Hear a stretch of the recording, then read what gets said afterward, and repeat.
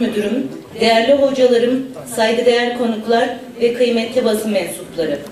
Kütahya Dumlupınar Üniversitesi ev sahipliğinde gerçekleşen 4. Uluslararası Bilimler Işığında Yaratılış Kongresi'nin açılış programına hepiniz hoş geldiniz.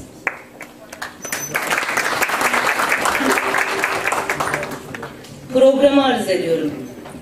Kur'an-ı Kerim tilaveti, tasavvuf müziği konseri, Kütahya Dumlupınar Üniversitesi Lisansüstü Eğitim Enstitüsü Müdürü Sayın Profesör Doktor Şahmurat Arı'nın konuşmaları, Kütahya Dumlupınar Üniversitesi Rektörü Sayın Profesör Doktor Kazım Uysal'ın konuşmaları, Kütahya İl Müftüsü Sayın Hüseyin Demirtaş'ın konuşmaları, Kütahya Belediye Başkanı Sayın Profesör Doktor Alim Işık'ın konuşmaları, Milliyetçi Hareket Partisi Kütahya Milletvekili Sayın Ahmet Erbaş'ın konuşmaları, Adalet ve Kalkınma Partisi Kütahya Milletvekili Sayın Celda Çetin Erenler'in konuşmaları, Kütahya Valisi Sayın Ali Çelik'in konuşmaları, Milli Eğitim Bakanlığı Din Öğretimi Genel Müdürü Sayın Nafiz Yılmaz'ın konuşmaları, Diyanet İşleri Başkanı Sayın Profesör Doktor Ali Erbaş'ın konuşmaları, Üsküdar Üniversitesi Rektörü Sayın Profesör Doktor Nevzat Tarhan'ın konuşmaları ve Orta Doğu Araştırmaları Merkezi Başkanı Sayın Profesör Doktor Ahmet Uysal'ın konuşmaları.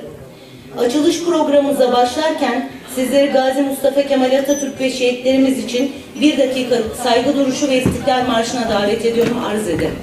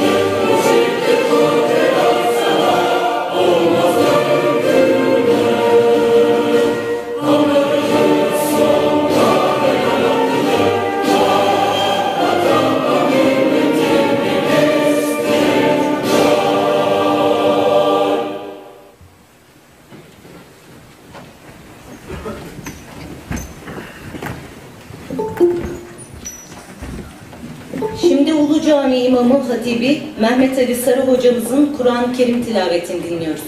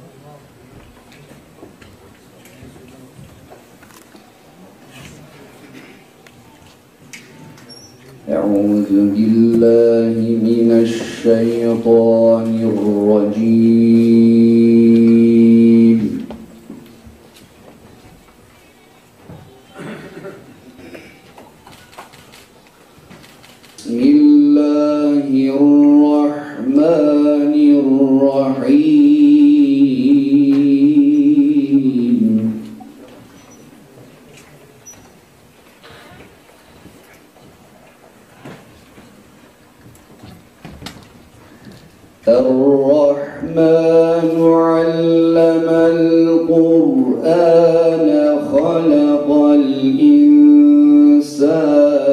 علمه البيان.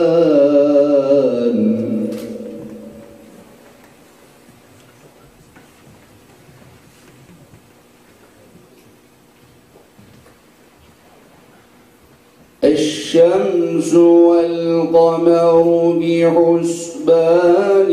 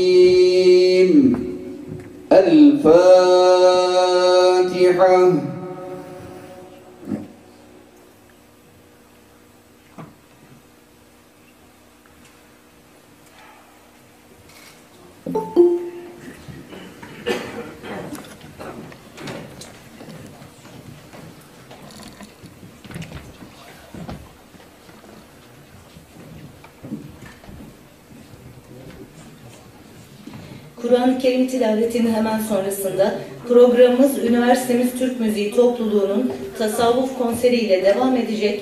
Sanatçılarımız Neyda Abdullah Şen, Ritim Sazda Samet Diler, Utta Sevkan Arkan, kemanda ve solisti olarak Ali Rıza Işık arz ederim.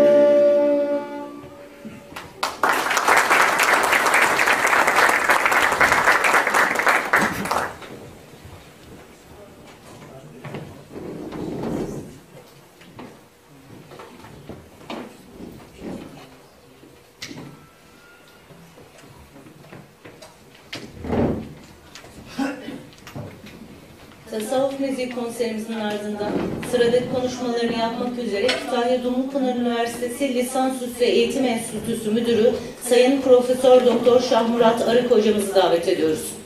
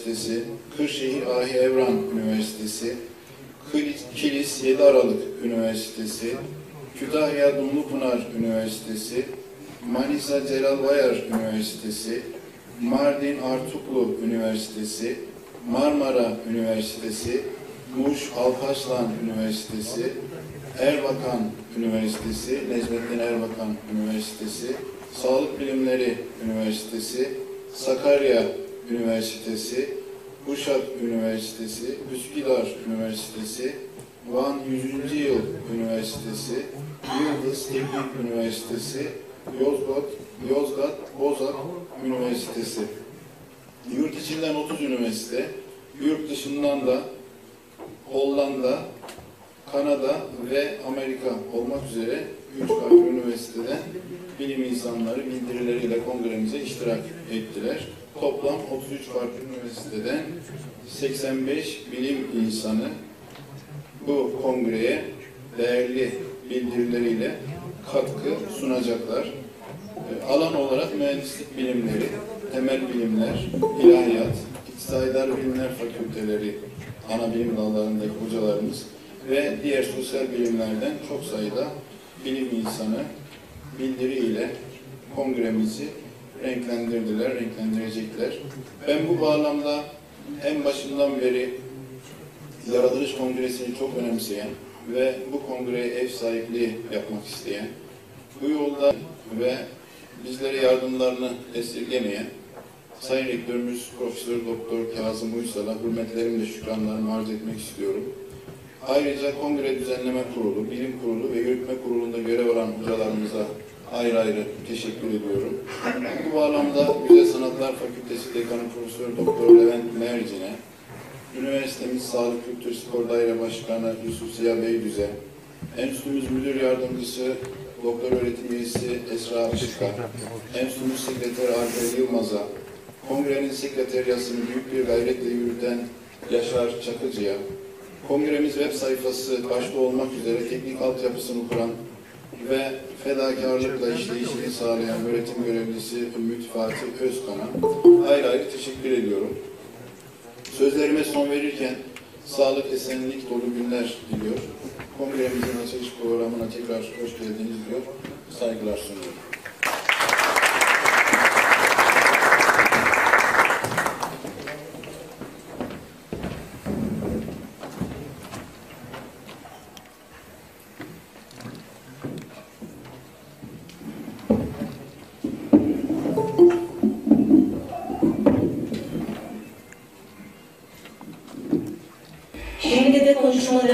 Üzere Kütahya Dumlupınar Üniversitesi Rektörü Sayın Profesör Doktor Kazım Uysal hocamızı davet ediyoruz.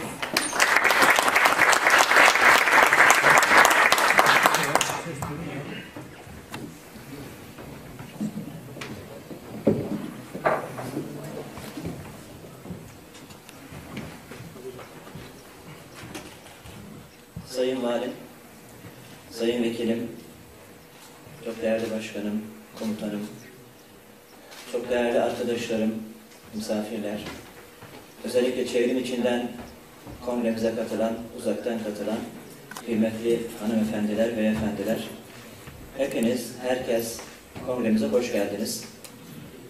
Üç yıl önce birinci Uluslararası Yaratılış Kongresi Urfa'daydı, Harran Üniversitesi'nde. İkincisi Erzurum Atatürk Üniversitesi'ndeydi. Üçüncüsü Iğdır'daydı. Dördüncüsünü biz aldık. Bu kongrenin özellikle milli değerlerimize, manevi değerlerimize ciddi katkılar sunan bu kongrenin üniversite, üniversitemize yapılmasından son derece memnunum ve mutluyum. Değerli misafirler, kongrenin kongrenin temel felsefesi ve amacı ile ilgili sizleri çok sıkmadan eee, takriben 20 dakika belki yarım saat konuşma yapmak istiyorum. Yaratıcıyı ve yaratılışı anlamak her insanın en asli görevidir. Çünkü akıl yürütme, olaylar arası ilişki kurma, sebeplerden sonuç çıkarma, sanattan sanatkarı anlama, eserden ustayı bilme, kitabı okuyup yazarı merak etme ancak insana mahsus özelliklerdir. İnsanoğlunun bu temel özelliklerinden dolayı en eski uygarlıklardan günümüze tüm insan toplumlarında hep bir ilah arayışı olmuştur. İnsanoğlu bazen doğru yöntemler kullanamamış ve yaratanı bulma duygularını tatmin için ay, güneş, ateş, inek, putlar gibi putlar gibi varlıkları ilah edinmişlerdir. İnsanoğlu yaratanı ararken yaratan da açık bir şekilde kendini tanıtmıştır. Yaratıcı insana üç yolla kendini tanıtmış ve tanıtmaktadır. Bunlardan birincisi elçi ve öğretmen olarak gönderdiği peygamberler. İkincisi kelam sıfatının eseri olarak gönderdiği kutsal kitaplar. Üçüncüsü ise kudretinin eseri olan kainat kitabı ve bu büyük kitap içinde yer alan varlıklardır. Yani Allah'ı tanıtan deliller, Allah'ı tanıtan bürhanlar temelde üçe ayrılabilir. Kutsal kitaplar, elçisi olan peygamberler ve Allah'ın eserleri. Eserleriyle de Allah kendini bize gösterir, gösteriyor ve tanıtıyor. Varlık alemini inceleyen tüm bilimlerin konusu Allah'ın kudret kitabı olan varlık alemidir. O halde varlık alemini inceleyen ilimler de bize tıpkı sevgili Peygamberimiz Hz. Muhammed ve kutsal kitabımız Kur'an-ı Kerim gibi Rabbimizi tanıtıyor. Ve sevdiriyor. Mesela her insan akıl yürüterek, olaylar arası ilişki kurarak, sebeplerden sonuç çıkararak yaratıcıyı bulabilir ve bilebilir. İçinde yaşadığı bu muhteşem sisteme bakıp yaratıcının büyüklüğünü ve azametini görebilir. Kendi yaptığı gül resmi ile bahçesindeki gülü karşılaştırıp yaratıcının sanatını ve kemalatını kıyaslayabilir. Bir iğne ustasız olmaz. Bir harf katipsiz olmaz. Bir köy muhtarsız olmaz deyip etrafımızda bulunan garip varlıkların ustasını, sahibini tanıyabilir. Peygamberimiz de, Kur'an-ı Kerim de bize Allah'ın sonsuz ilim ve kudret sahibi olduğunu söylüyor. Biliyorsunuz Kur'an-ı Kerim'de Allah tarif edilir. Peygamberimiz de bize Allah'ı tarif eder. Ve Rabbimizin sonsuz kudret sahibi, sonsuz ilim sahibi olduğunu söyler. Bu anlamsız ve akıldan uzak bir tarif değildir. Bazen insan istibad eder, aklına sığıştıramaz ve inkar eder. Oysa Peygamberimizin ve Kur'an-ı Kerim'in Allah tarifi anlamsız ve akıldan uzak değildir. İspatı Rabbimizin yaptığı işlerdir, ortaya koyduğu eserlerdir. Zira içinde yaşadığımız bu muhteşem kainatın ve bu acayip sistemin inşası elbette sonsuz bir ilim ve kudret ile olabilir. Gözle görülmeyen küçücük bir hücrede her saniyede insanın yapmasından aciz olduğu binlerce biyokimyevi reaksiyon yapan ve belli bir amaca hizmet eden maddeler sentezleyen ilim ve kudret elbette sonsuz olmalıdır. Bütün biyologlar bilir. Gözle görülmeyen küçücük bir hücre, saniyede 3000'den fazla reaksiyon, yağ yapılır, protein yapılır, karbonhidrat yapılır, enzim yapılır, bütün bütün canlıya ne lazımsa yapılır. Bugün laboratuvarlarda protein yapamıyoruz, yağ yapamıyoruz, Ancak birinden birini oluşturuyoruz, dönüştürüyoruz. Sıvıysa katı yapıyoruz.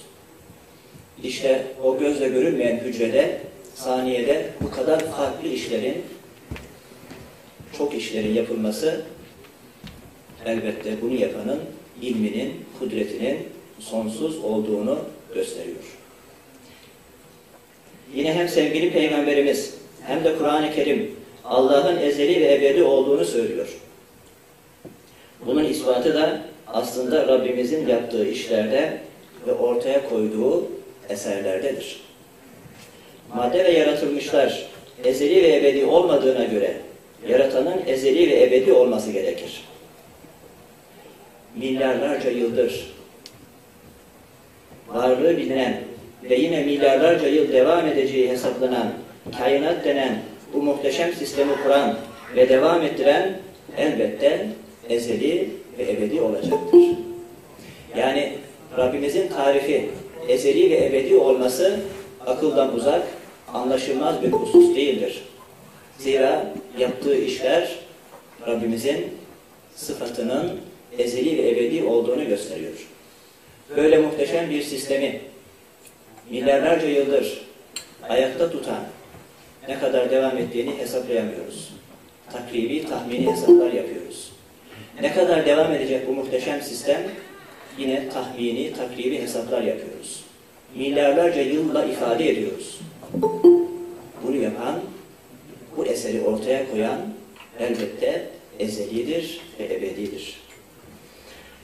Üstünde yaşadığımız dağılmaya ve parçalanmaya müsait taş, toprak ve sudan oluşan dünyayı uçak hızından yaklaşık 100 kat hızlı döndüren, cansız, akılsız ve şuursuz olan büyük bir kütleye akıllı ve şuurlu işler yaptıran elbette sonsuz bir hikmet, sonsuz bir ilim ve sonsuz bir kudret sahibidir.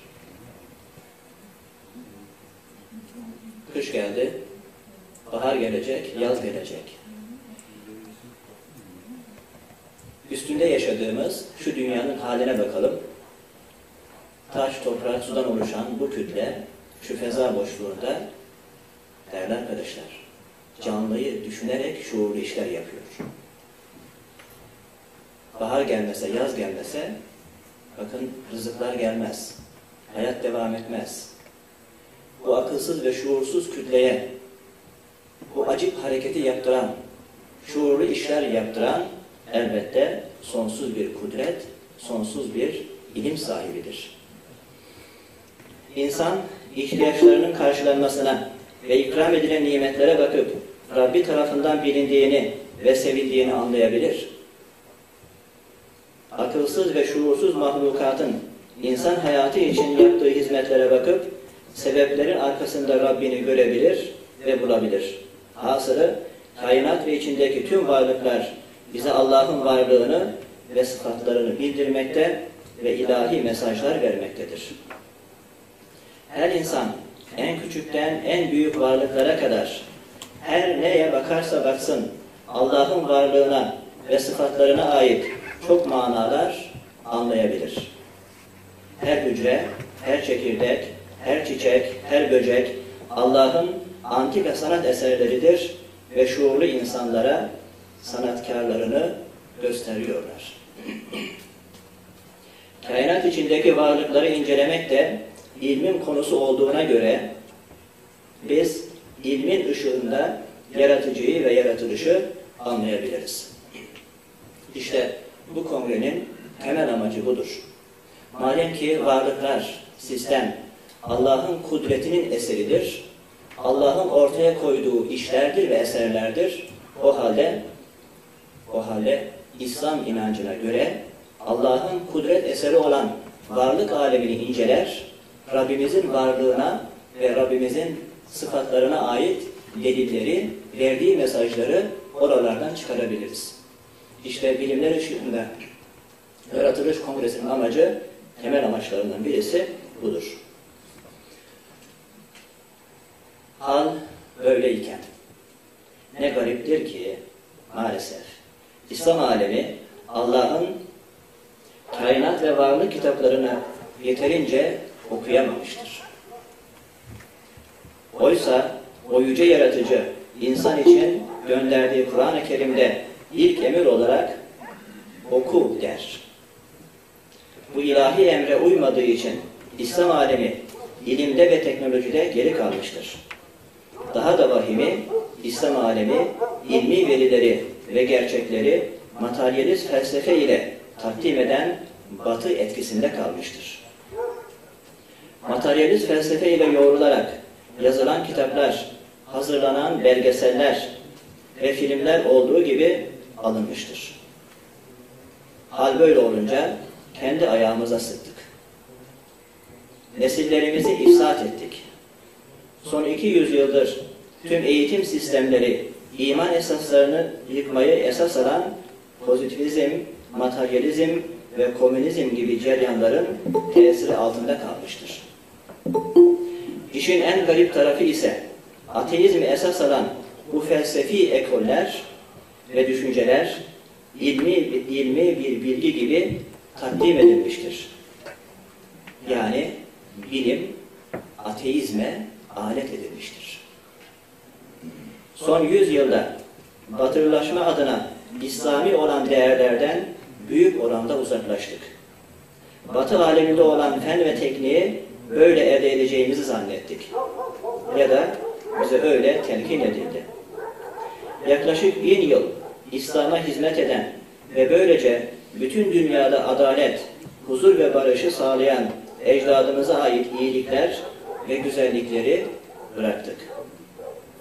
Gördük ki bizi biz yapan değerlerden uzaklaştıkça bataklığa saplanıyoruz. Memleketin refahı ve huzuru için yetiştirdiğimiz gençlerden bazıları bize ve vatanımıza düşman hale geldiler. Şimdi anlıyoruz ki biz eğitimde büyük hata yapmışız. Bütün eğitim sistemimizi Batı dünyasının eğitim sistemine göre şekillendirdik. Halbuki Batı eğitim sistemi özellikle imanımızı zedelemekte, aile hayatımızı perişan etmektedir. İnsanın da bir hayvan olduğunu, insani değerlerin sonradan yine insanlar tarafından meydana getirildiğini düşünen materyalist felsefeden başka ne beklenebilir? Eğitimin asıl vazifesi insanın terbiyesidir. Bu terbiye insana, hayat ve varlık alemine insanlığa yakışır bir bakış açısı kazandırmalıdır. Toplum hayatının mücadele ile devam ettiğini, insanların birbirine yardımlaşma, bunun toplum hayatının mücadele ile devam etmediğini, çünkü materyalist felsefe böyle söyler. Hayatta kalmak için mücadele edeceksin. Güçlü olan hayatta kalır gibi temel prensipler öne sürer. Oysa hayat, hayat yardımlaşma ile devam eder. Bizim hayatımızın devamı için şu koca dünyanın dönmesi, bize hizmet etmesi, akılsız ve şuursuz mahlukatın insan için çalışması, dallardan meyvelerin, yerden hububatın çıkması nasıl bir çarpışmaktır? Allah'ın bize şefkati, bize yardımı olmasa hayat nasıl devam edecek? Ancak materyalist felsefe görmek istediğini gördü. Bazı hikmetler için yaratılan hikmetini bilmediği olaylara baktı. Vahşi hayvanlar gibi. Hayat bir mücadeledir dedi. Ve bu prensibini maalesef insanlık içinde yerleştirdi ve yerleştirmek için çalıştı. Sonuç, sonuç dünyanın şu halidir. Böyle bir terbiyede akıl ile kalbin, ilim ile inancın birlikte ele alınmasında zaruret vardır. Fertlerin ilim ve irfan ile, ahlak ve fazilet ile donatılması, kalp ve ruhlarının, akıl ve hissiyatlarının ulvi gayelere yönlendirilmesi eğitimin temel gayesi olmalıdır. Aklın nuru, kalbin ziyası, faziletin de esası ilme bağlıdır. Maneviyatsız ilim şüphe ve tereddüde yol açar. İlimsiz maneviyat da taassuba yol açar. İşte biz bunu ayırdık. Aklı nurlandıran fen ilimleridir. kalbi nurlandıran din ilimleridir. Ayrıldığı zaman sadece fen ilimleriyle gidilirse inkara götürür, ifsat eder. Hele hele materyalist felsefeyle yorulmuş ilimler, fen ilimleri. Sadece din ilimleriyle gidilirse, fen ilimlerinden kopuk bir şekilde eğitim öğretim yapılırsa bu da taassuba sebep olur. İşte memleketimizin çektiği temel sıkıntı budur.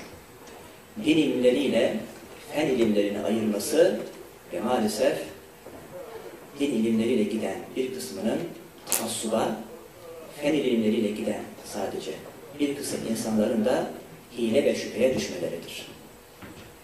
İşte Yaratılış Kongresi'nin amacı din ve fen ilimlerini birleştirmek, hakikatı ortaya çıkarmaktır.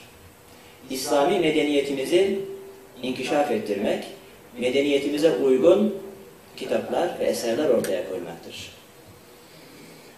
İşte bütün bu sebeplerden dolayı eğitimin yeniden ele alınmasına ve ona tevhidi dili ve tevhid mesajı ile ruh verilerek, burası çok önemli,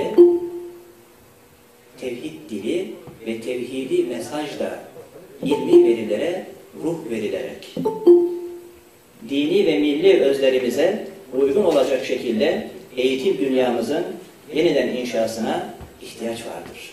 Değerli arkadaşlar, okullarımızda biyoloji kitabı var. Hepiniz okudunuz. Biyoloji, Allah'ın en antika eserleri olan hayatı ve canlıları anlatır. İçinde bir kelime Allah geçmez. Oysa aslında biyoloji marifetullah dersi gibi verilebilir. Allah'ın antika eserleri orada anlatılır ve biyoloji marifetullah dersi olabilir. Bu mümkün. Ancak materyalist felsefeden, felsefeyle yazılmış kitapları aldık, olduğu gibi tercüme ettik. Felsefesini de tercüme ettik ve maalesef gençlerimize dokusuna uygun olmayan bir elbiseyi giydirmeye çalıştık.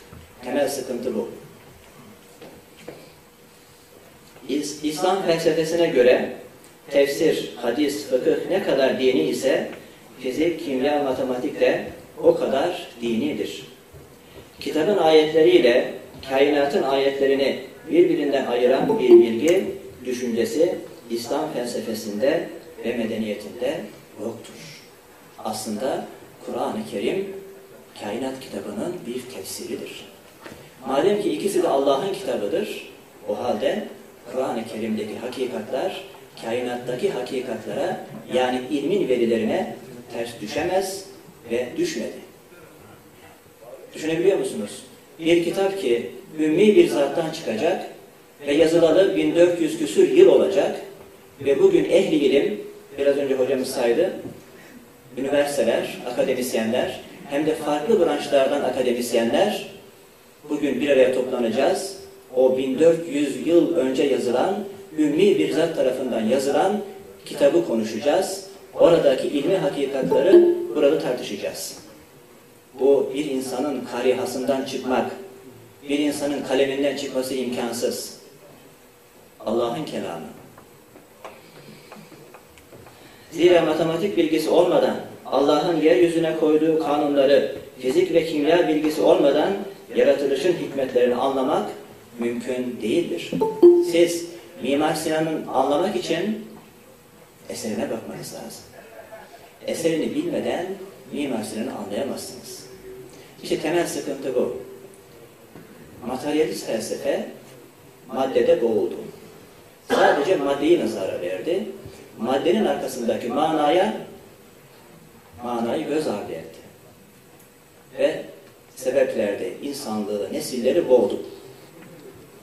Allah'ı göstermedi. Oysa oysa aslında mesela Selimiye Camii kendinden daha açık Mimar Sinan'ı gösterir. Göstermesi lazım. Bir kitap kendinden daha önemli yazarını nazara vermesi lazım. Bir resim kendini gösterdiği kadar ressamını göstermesi lazım. Yani maddenin manadan ayrılması, ayrılarak verilmesi ne ilmidir ne aklidir.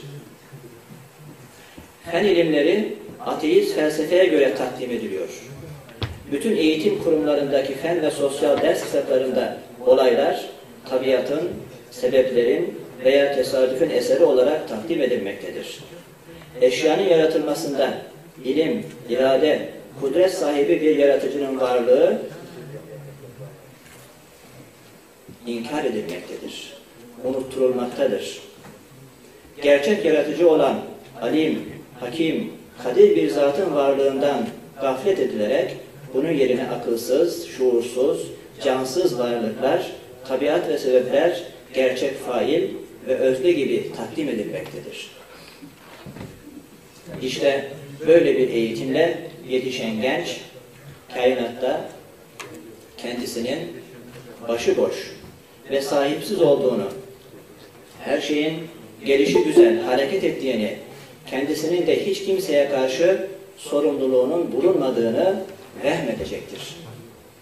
Bu da gençliği dinsiz, inkarcı, sefih, helal haram, emir ve yasak tanımayan, serkeş, itaatsiz, nefsinin istek ve arzularına tabi hale getirecektir. Bütün bu, bütün bu çektiğimiz materyalist felsefenin meyveleridir. İlimler eserden söz edilince eser sahibini, sanattan bahsedilince sanatkarı, fiilden bahsedilince faili hatırlatacak tarzda olmalıdır. Bütün bilimler, bütün bilimler, biyoloji, kimya, astronomi, bütün bilimler Allah'ın sanatını inceler. İşte ilimler, kitaplar böyle vücuda getirilmeli. Yani sen eğer sanattan bahsediyorsan sanatkarı nazara vereceksin. İlimden bahsediyorsan alimi nazara vereceksin. Eserden bahsediyorsan ustayı nazara vereceksin. Sanattan bahseder, sanatkarı nazara vermez. İlimden bahseder, alimi nazara vermez.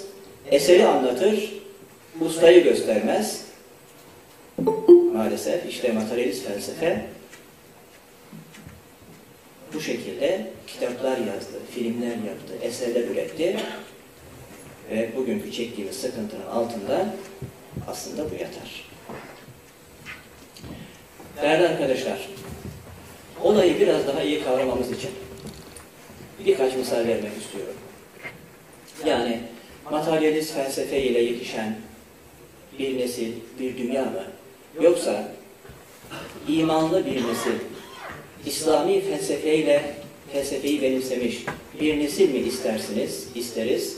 Ben idarecilerimize, sosyologlarımıza, eğitimcilerimize bir karşılaştırma yapmak ve bir e, tablo ortaya koymak istiyorum.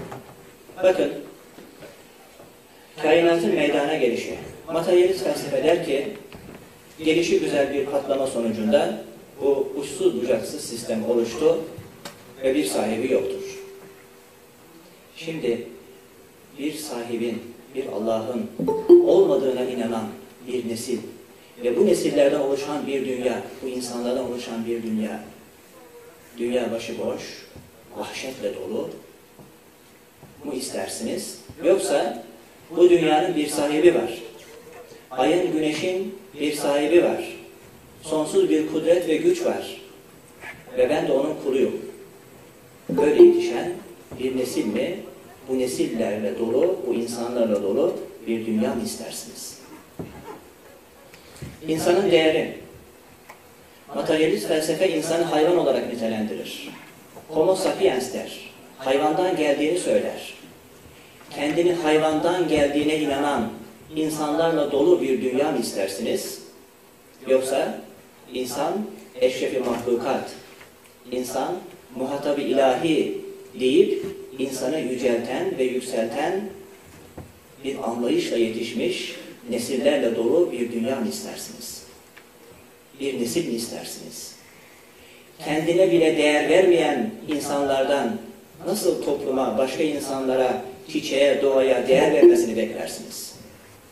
Kendine hayvan olarak bakan, hayvandan geldiğini düşünen ve bir sahibinin olmadığını itikad eden insanlarla dolu mu olmasını istersiniz? Yoksa yoksa benim fıtratıma uygun din göndermiş, kendini tanıtmış, ben hattı istikametimi buna göre seçeceğim, buna göre yaşamalıyım diye yetişmiş, anlayış sahibi insanlarla dolu bir dünya mı istersiniz? Materyalist felsefe her şeyin evrimle birbirinden sahipsiz meydana geldiğini iddia eder, savunur. Çiçeğin, böceğin anlamı faydası nispetindedir. Bir bu anlayış var. Bir de çiçek, böcek, Allah boşuna misal vermiyor çiçekten, böcekten. Adına ayetler var. Bir de her bir çiçeğin Allah'ın sanat eseri olduğunu itikad eden her bir hayvanın, hayvanın Allah'ın görevli bir memuru, onu tanıtan bir sanat eseri olarak bakan nesillerin olduğu bir dünya mı istersiniz? Çevre hangi insanlarla daha iyi olur? Değerli arkadaşlar, hayatı bir mücadele gören, güçlü olan kazanır diyen bir nesille dolu, insanlarla dolu dünya mı istersiniz? Yoksa hayat yardımlaşmadır. Hayat ancak muavenetle devam eder. Diyen ve akılsız, şuursuz mahlukatın hayata ettiği hizmetleri görüp Allah'a şükreden insanlarla dolu bir dünya mı istersiniz? Bir sosyal hayat mı istersiniz? Bir şehir mi istersiniz? Çok açık ve net.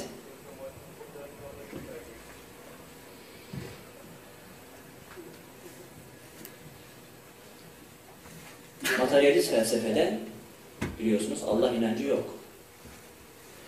Allah'a inancı olmayan, yaptığı her şeyden sorumlu tutulmayacağını düşünen, hayatın sadece bu dünyadan ibaret olduğunu tevehhüm eden insanlarla dolu bir dünya mı istersiniz? Yoksa polis, inzibat olmasa da her yaptığım kayıt altına alınıyor. Her yaptığımın hesabını vereceğim diye kalbinde bir yasakçı olan nesillerle dolu bir dünya mı istersiniz? Asayiş hangisiyle daha iyi temin edilir? Çok açık. Ben her an gözetleniyorum. Allah iyiliklerimi de kötülüklerimi de yazıyor, kaydediyor. Anlayışında olan insanlar mı istersiniz? Emniyet mensupları. Yoksa yoksa yaptığı yanına kar kalan, sadece kendi menfaati için çalışan, güçlü olan, haklıdır anlayışında olan bir dünya mı istersiniz? Hakkın üstün olduğunu savunan uluslararası bir ilişki mi istersiniz? Yoksa güçlü isen haklısın diyen bu anlayışta olan uluslararası bir ilişki mi istersiniz? Çok açık, çok net. İşte biz yaratılış gerçeklerimize sırt çevirdiğimiz için, göz yumduğumuz için bu dünyanın hali, kan ve gözyaşıyla dolu şu hal maalesef bu materyalist felsefenin ürünüdür, sonucudur. İslam medeniyetinin hakim olduğu zamanlarda toplumun ne hale geldiğini biliyorsunuz. Asr-ı Saadet diye bir asır meydana gelmiş. İşte Osmanlı'da sadaka taşlarını bilirsiniz. Sokakta paraların bırakıldığı ve insanların ancak ihtiyacı kadar olduğu aldığı dönemler yaşanmış. Komşusunu gözeten bir dönem yaşanmış. Materyalist felsefenin ürünü olan dünyada ise ne olmuş? Sosyal darwinizm olmuş. Yani hayvanlar arasındaki o güç mücadelesini, güçlüysen haklısın kanunlarını, prensiplerini insanlar içinde de yerleştirmeye çalışmışlar ve dünyaya ancak kan ve gözyaşı vermişler. Vahşi kapitalizm olmuş. Materyalist felsefenin neticesi, batı felsefesinin neticesi vahşi kapitalizm olmuş. Başka öjeni hareketler olmuş. Nasıl ki ineği, bitkiyi ıslah ederiz, o halde insanı da ıslah etmemiz lazım diyen anlayış olmuş. Ve biliyorsunuz insanlığın yüz karası uygulamalara imza atmışlar. Başka? Sömürgecilik olmuş. Çünkü parazitlere bakmışlar, vahşi hayvanlara bakmışlar. Oradan aldıkları prensipleri sosyal insan hayatına da sosyal hayata da uygulamaya çalışmışlar. Karşımıza sömürgecilik çıkmış. İşte sömürgeciliğin de altında yatan sebep aslında materyalist felsefedir. Ve bugün biliyorsunuz metot değiştirerek yine sömürge sistemlerine devam ediyorlar. İnsani bir bakış, insani bir yaklaşım maalesef çok kalmamış. İşte son yaşadığımız olay. Yaşlısına bilerek sahip çıkmadı. Çünkü insana verdiği değer o kadar. Bu milletin yaşlısına, engellisine, yolda kalmışa, darda kalmışa nasıl sahip çıktığına herkes şahit. Değerli arkadaşlar, bu coğrafyanın terakkisinin yani ilerlemesinin buharı Diyanettir. Tarih buna şahittir.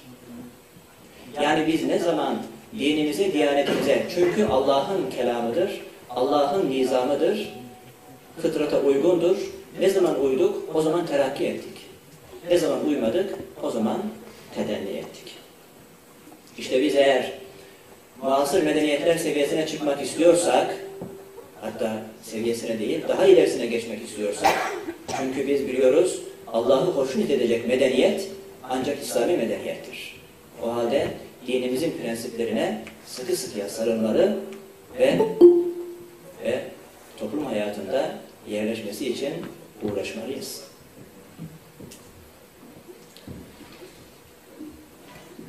Saatimiz verdiğimiz süre herhalde doluyor.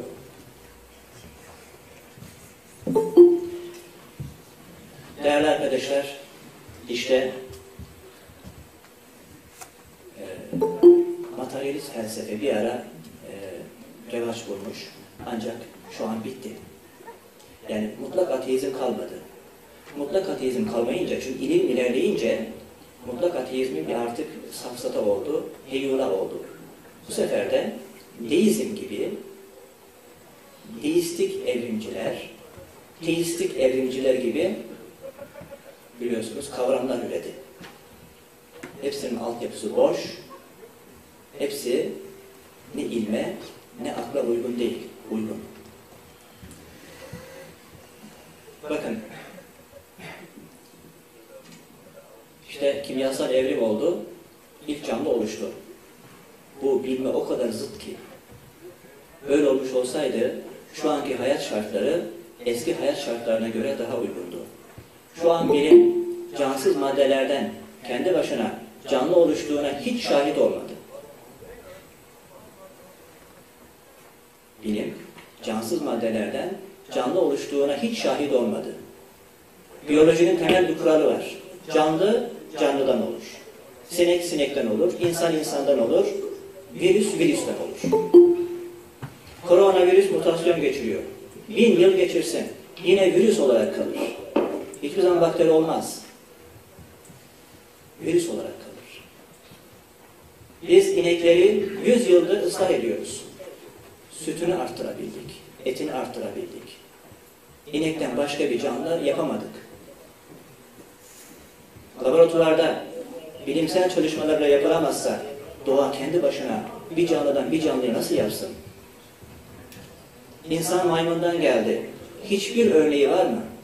Maymunumsu bir insan, insanımsı bir maymun gördünüz mü? Yok böyle bir şey. Ama ama öyle bir felsefeyle yutturdular ki maalesef inanmak zorunda kaldık. Çünkü çocukluktan beri o şekilde empoze ettiler. Yani ne ateizm, ateistik evrim felsefesinin, ne deistik evrim felsefesinin, ne de teistik evrim felsefesinin bir dayanağı yoktur. Allah isterse yaratabilir. Her şekilde yaratabilir. Allah'ın iradesini, Allah'ın ilmini, Allah'ın kudretini, Allah'ın nezaretini, isim ve sıfatlarını inkar eden hiçbir felsefenin ne ilmi dayanağı vardır ne de mantiki ve vicdani dayanağı vardır. İşte bilimler ışığında yaratılış kongresinin amacı öncelikle sorgulayan bir nesil yetiştirmektir. Bu aslında güncel bir konu. Sorgulayan bir nesil. İşte materyalist felsefe nesle kendisini sorgulatmaz. Başkasını sorgulatır. Halbuki insanız, önce kendimizi sorgulayacağız. Ben neyim, nereden geldim, vazifem nedir ve nereye gidiyorum? Bunu sorgulamadıktan sonra toplumların siyasetlerini sorgulamışsın. Dünyaya yön, nizam vermişsin. Bunun çok da önemi yok. Öncelikle kendini sorgulayan, sadece maddeyi değil, manayı da araştıran, materyalist felsefe ile yoğrularak takdim edilen bilimi tevhidi bir bakışla ele almak ve kadim medeniyetimize ve hak dinimize uygun eserler meydana getirmektir. Ben Yaratılış Kongremizin milletimize, devletimize, bütün insanlığa faydalı olmasını temenni ediyor ve inşallah bu kongrelerin devam etmesini niyaz ediyorum. Çünkü inanıyorum ki bu kongreler materyalist felsefeyle yoğrulmuş ilimi tasaffi ettirecek, temizleyecek, tevhidi bakışla yoğrulmuş ilim inşa edecek. Bu temenniyle inşallah ben konuşmama son veriyorum. Tekrar herkese en kalbi selamlarımı gönderiyorum.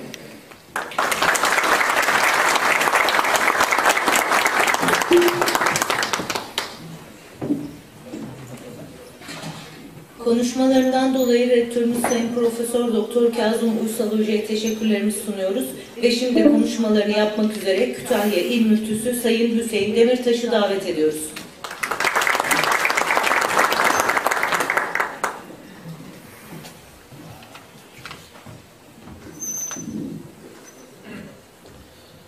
Benim konuşmam az olacak hutbe kadar inşallah.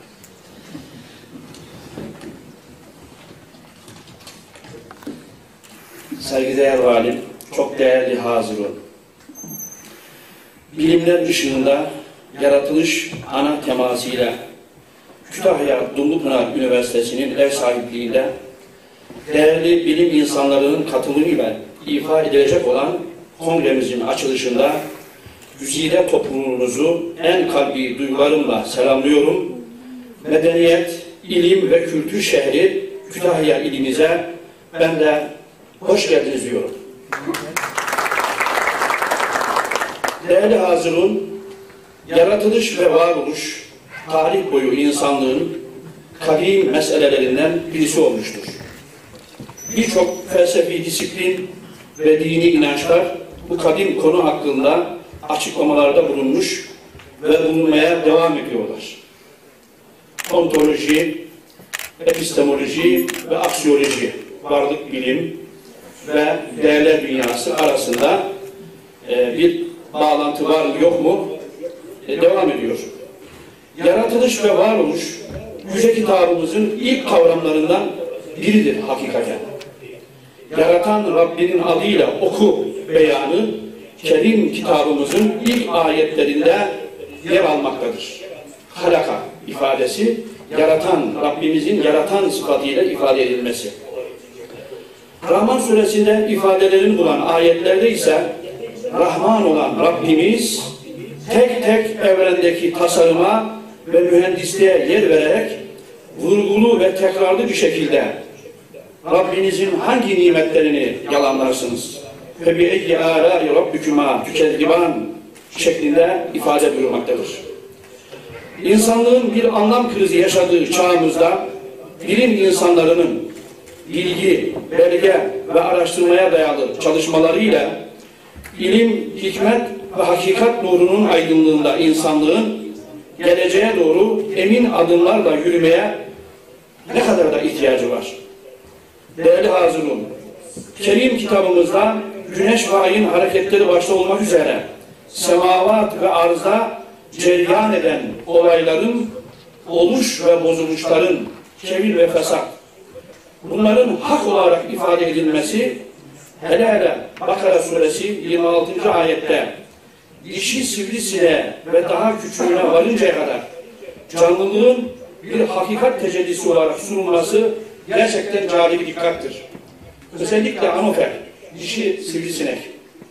Bugün dünyada sıkma üzerinden e, 800 bin civarında insanın ölümüne sebebiyet veriyor. Bu kadar hayatımız içerisinde yer alıyor ve aynı zamanda canlılığın efendim, besin zincirinde çok hayati noktada yer alıyor bu eklem bacaklı hayvanlar.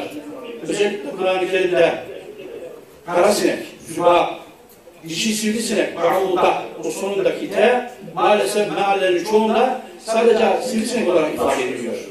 Bu çok büyük yanlıştır. Çünkü saha araştırması yapılmadığı için bir de bizim dilimizde Arapça dili arasında fark var. Biz kendi dilimizde dişi, sivri, sinek şeklinde üç tane kelimeyle ifade ediyoruz. Dişi, sivri ve sinek. Ama Kur'an dilinde bu bağut kelimesini ifade ediyor. Sonunda da yuvarlak T var. Onun dişi olup olmadığını anlamak için sahada araştırma yapmanız gerekiyor. O ayetin medlulünün delalet etmiş olduğu manayı sahada bilmeniz gerekiyor. Bunu yapmadığınız zaman ayeti anlamanız da mümkün değil. Masa başında anlaşılmaz efendim.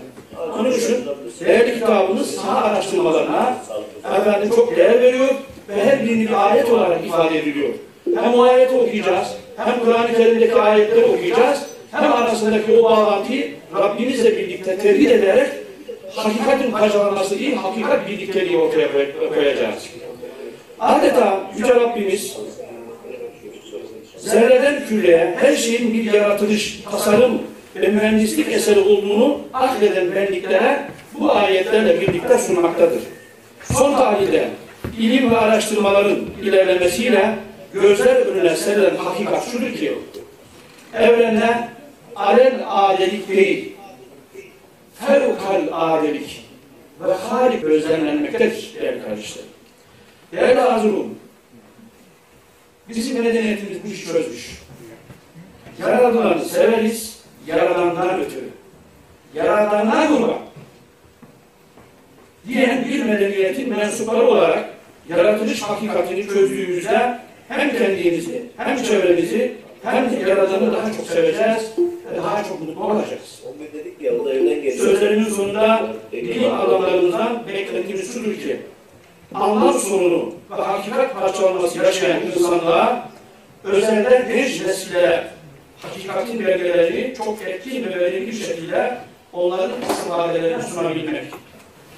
Komünizmin bu amaca hizmet edecek hakikat belgeleriyle dolu olmasını temenni ederek Dumlupınar Üniversitemize Sayın Rektör Özgür başta olmak üzere emeği geçen tüm bilim insanlarına ve hizmetkarlarına şükranlarımı sunuyorum.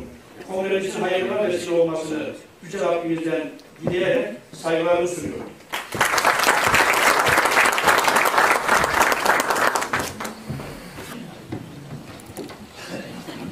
Şimdi de konuşmalarını yapmak üzere Kütahya Belediye Başkanı Sayın Profesör Doktor Ali Maş'ı davet ediyoruz.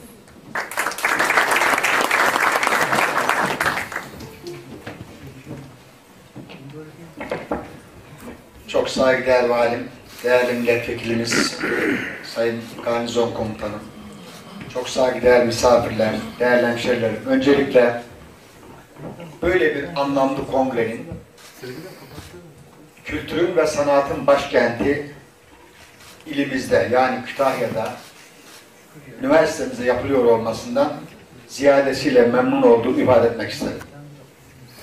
Çünkü bu şehir 7000 yıllık geçmişe sahip kadim bir şehir ve bu geçmişinde birçok medeniyeti burada buluşturmuş, yaşamış, insanlık alemine çok ciddi katlar sağlamış bir şehir. Huzurun ve güvenin şehri. Burada insanlarımız huzurlu. Burada insanlarımız, iş adamımız güvenli. Dolayısıyla bunu korumanın bedeli var. Buraya gelmenin de geçmişten bugüne çok büyük bir bedeli olduğunu hepimiz biliriz. Benden önceki değerli konuşmacılar konunun özellikle manevi boyutuna ve anlamına dair çok güzel örnekler verdiler. Güzel cümleler kullandılar. Özellikle Müftü Bey'ime sabah söyledim. Dedim ki benden önce nasıl siz konuşuyorsunuz. Ben yolumu ona göre çizerim dedim ama benim cümleyi söylediği için tekrarlamak zorunda kaldım. Ben konuşmama yaratılanı sevdik, yaratandan ötürü sözüyle başlamayı tasarlamıştım. Oradan devam edeceğim. Mühendislik özgeçmişim açısından konuya baktığında sistem yaklaşımı dediğimiz yaklaşımla değerlendirdiğimizde en küçük iki bileşenli bir sistemin bir yaratanı var, bir de yaratılan. Bu ikisi arasında uyum devam ettiği sürece sistem çalışır. Bir de bunların içinde bulunduğu çevre var. Çevreden bağımsız bu iki bileşen ne kadar uyumlu olsa da etrafında olup bitenlerden bağımsız devam ettiği sürece sistem yine çalışmaz. Her alt sistem kendi içerisinde ayrı bir sistem. İnsanlık alemine ayrı yani yaratılanı tüm canlılar olarak değerlendirdiğimizde kendi içinde çok alt sistemlere bölebiliriz. Ama yaratan tek. Onu ancak o ilmin sahipleri detayda inceleyip değerlendirebilir. Oraya fazla gitmem, hakkımı açmak istemem. Ama insanlık olarak baktığımızda orada da yön belirli. Yüce dinimiz İslam'ın her türlü emrini, kuralını bize aktaran Kur'an-ı Kerim ile sevgili Peygamberimiz sallallahu aleyhi ve sellemin sözü bizim yönümüzü çiziyor. İnsanların en hayırlısı insanlara hizmet eden. İşte bize düşen bu. Hizmet edebiliyor muyuz? Yaratılış gayemize uygun bir şekilde herkes kendi mesleğinde, kendi bulunduğu alanda, kendi konumunda insanlara hizmet edebiliyor mu? Herhalde ölçümüz bu olması lazım. Onun için bu kongre gerçekten değerli, önemli. İnsanların varlık sebebini sorgulayabilmesi açısından çok değerli fikirlerin ortaya atılacağını düşünüyorum. 80 üzerinde bilim adamının değişik ülkelerden katılmak kaydıyla bu konuyu enine boyuna tartışacak bir ortamı yaratmış olması nedeniyle üniversitemizi ve burada çalışan değerli hocalarımızı, değerli personelimizi ayrı ayrı kutluyorum. Tebrik ediyorum. Özellikle yaratmak Allah'a mahsus. Yapmak ve üretmek insanlara mahsus. Mühendis tasarlayacak. Yapacak. Üretecek. Ürettiğiyle kendi alanının dışındaki diğer canlılara destek olacak. Onların hayatlarının devamını sağlayacak. Ürettikçe de hem ülke büyüyecek, hem insanlık gelişecek, hem dünya alemi mutlu olacak. Bugünkü kavgaların, savaşların, hırsların altında yatan bir gerçek var ki arzın yetersizliği, yeterli üretimin olmaması, kaynakların kısıtlı olması, insanlık aleminin bu kaynaklara sahip olmak için güçlü olanın güçsüzü yok etmesi prensibine dayanıyor. Onun için üreteceğiz. Çok çalışacağız, üreteceğiz. Bilim üreteceğiz. Madde üreteceğiz. Gıda üreteceğiz. Sanayide makine üreteceğiz ama üreteceğiz değerli dostlar. Üretmezsek bizden daha güçlü olanların esiri olmak zorunda kalırız. İlimizde de üreteceğiz, ülkemizde de üreteceğiz, dünyada da üreteceğiz. Üretmek için herkes elinden geleni yapacak. Ben bir kez daha hem katılımcılara hem de siz değerli misafirlerimize şehrimize hoş geldiniz. Huzuru bulun gidin. Güvenli olarak dolaşın. Bu şehrin kültüründen ve sanatından bir şeyler alıp geldiğiniz yerlere öyle dönün diyorum. Hepinize bir kez daha saygı ve saygılarımı sunuyorum. Hayırlı olsun.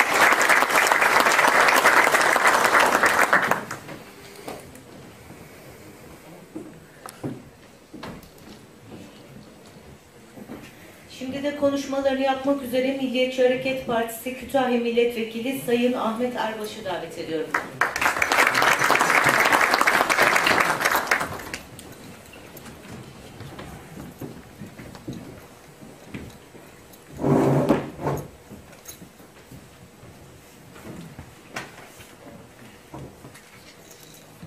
Saygıdeğer protokolüm, ilim dünyamızın kıymetli insanları, bu yıl dördüncüsünü düzenlemekten büyük bir bahtiyarlık duyduğumuz Uluslararası Yaratılış Kongresi'nin açılış toplantısına hoş geldiniz. Hak ve hakikati ararken bilimi kendisine rehber edilmiş değerli gönül insanları. Şahati Şirazi, insan birkaç damla kan ve bin bir endişeden mevcuttur der. Yaratıcının en büyük Kur'an-ı Kerim'in ifadesiyle en şerefli varlık olan insan, yaratılmışların en üstünü olarak tanımlanmıştır. Atalarımızın insanı bir muamma olarak görmüş ve her daim okunması, anlaşılması gereken bir kitap olarak yorumlamıştır. Cenab-ı Allah yaratıcı sıfatı tekvin olarak ifade edilir. Bu sıfat insanlara doğrudan yansımayan bir özelliğe sahip olup yalnızca yaratıcıya aittir. Bir çocuk dünyaya getirmek, bir çiçek yetiştirmek veya bir icadın mucize olmak, her ne kadar ortaya bir şey koymak olsa da tekvin sıfatına talip edemez. Çünkü yaratıcı bütün mahlukatı var ile yok arasında inşa ederek hulk eder. Ademoğlu ise ancak ve ancak Cenab-ı Hakk'ın ona verdiği nimetleri kullanarak veya onlar üzerinde bir takım tasarımlarla ilerleyerek ortaya yeni şeyler koyduğunu iddia edebilir. Ancak tekvin sıfatı insan ve yaratıcı arasındaki bağın kuvvetli olmasındaki temel noktalardan da bir tanesidir. Başta insanoğlu olmak üzere evrendeki mahlukatımızın vakıf olduğumuz veya olmadığımız her varlık yaratıcının eşsiz bir eseridir. İnsan da bu eserler arasında müstesna bir yere sahip olmakla beraber tekvin sıfatının en güzel örneğidir. Bu yüzdendir ki yaratıcı alemleri yaratma sebebini peygamberlerin sonuncusu Hz. Muhammed'e tevcih ederek bir bakıma insanoğluna bir kat daha şereflendirmiştir. Ve tekvin sıfatının yüceliğini bir kere daha bizlerle teyit etmiştir. Başta insanoğlu olmak üzere bütün yaratılmışlara iyi ve merhametli muamele Cenab-ı Hakk'ın yarattıklarına muamele olacağından hem vicdani hem dini hem de aklın ortak kararı olacaktır. Değerli katılımcılar, bizler vahiler, peygamber gelmese dahi Allah'ın yaratıcının varlığını akıl ile bulabilirdi öğretisini Türkistan sahrasında kendimize pusula etmiş bir milletiz. İslamiyet ile müşerref olmuş Türk'ün adalet davasını evvela Anadolu'ya, akabinde Viyana kapılarına, yine Anadolu'dan Afrika ve Kafkasya'ya taşımış bir medeniyetin mensuplarıyız. Bizim inanç ve itikadımıza göre akıl ve bilim dinimizin gerekliliklerinin arasındadır. Hatta o kadar ki aklı olmayanın dini olmaz kaidesi genellikleş, genelikselleşmiş bir deyim olarak inanç dünyamıza kesin bir ilke formuyla yerini almıştır. 400 çadırlık bir aşiretten sanatta, ilimde, edebiyatta, askeriyede, denizcilikte, tarımda, ticarette bizi zirveye taşıyan kadim cevherimizin parıldayan ışığın birisi yüce dinimiz, diğeri ise akıl ve bilim ile ilerleyen mefkurelerimizdir. Türkler alemlerin yaratılış sebebi olan Hz. Peygamber'in yolunda milli benliklerini İslamiyet'e gömerek cihat ve gazaya, vakıflar ile yardımları ve adalet taksimine başlamışlardır. Türk milleti bugün yaşayan dünyanın temel argümanlarını oluşturmuş, bilime, ilime, matematiğe, tıbba, astrolojiye yön vermiş bir millettir. Yegane din olan mensubiyetiyle şereflendiğimiz İslamiyet'in ilk emri okudur. Burada kastedilen oku bir kitabı veya bir yazıyı okumaktan daha ziyade evreni, alemin yaratılışını, hikmetini yani önce kendisini okumasıdır. Bunu doğruyan, okuyan her alim, yaratılışın arasındaki noksansız sıfatlara sahip yaratıcıya mutlaka erişecektir. Bir hücrenin içerisinde bulunan sonsuzluğu, sonu olan bir şeyle nasıl yaratılabilir ki? Aziz milletimizin varoluş ve yaratılışına dair fikir ve kanaatları ancak bu pencereden bakıldığında görülebilecek, girip olduğu kadar sade, birbirine girmiş olduğu kadar da berrak bir vicdan ve dünya sahibidir. 20. yüzyılın içerisinde teknolojinin hayatın merkezinde oturduğu kapitalist sistemin elektronik cihazlarla bizleri esir aldığı şu dönemde yapılacak en güzel iş belki de dinamizmle maruf olan Türk milletine yeni bir hayat felsefesi ve onu anlandıran yeni bir yaratılış tasavvufu koymak icap etmektedir. Oluşturulmak istenen yeni dünya düzeninde ahlaki, manevi tüm değerlerin işleri boşaltılmaya çalışılmakta, maddi ve hiçliği inandırılan bir nesil oluşturmak istenmektedir. Milli ve manevi değerlerin insanımıza ve toplumumuza nasıl ayakta tut- tuttuğu ortakta, ortadadır.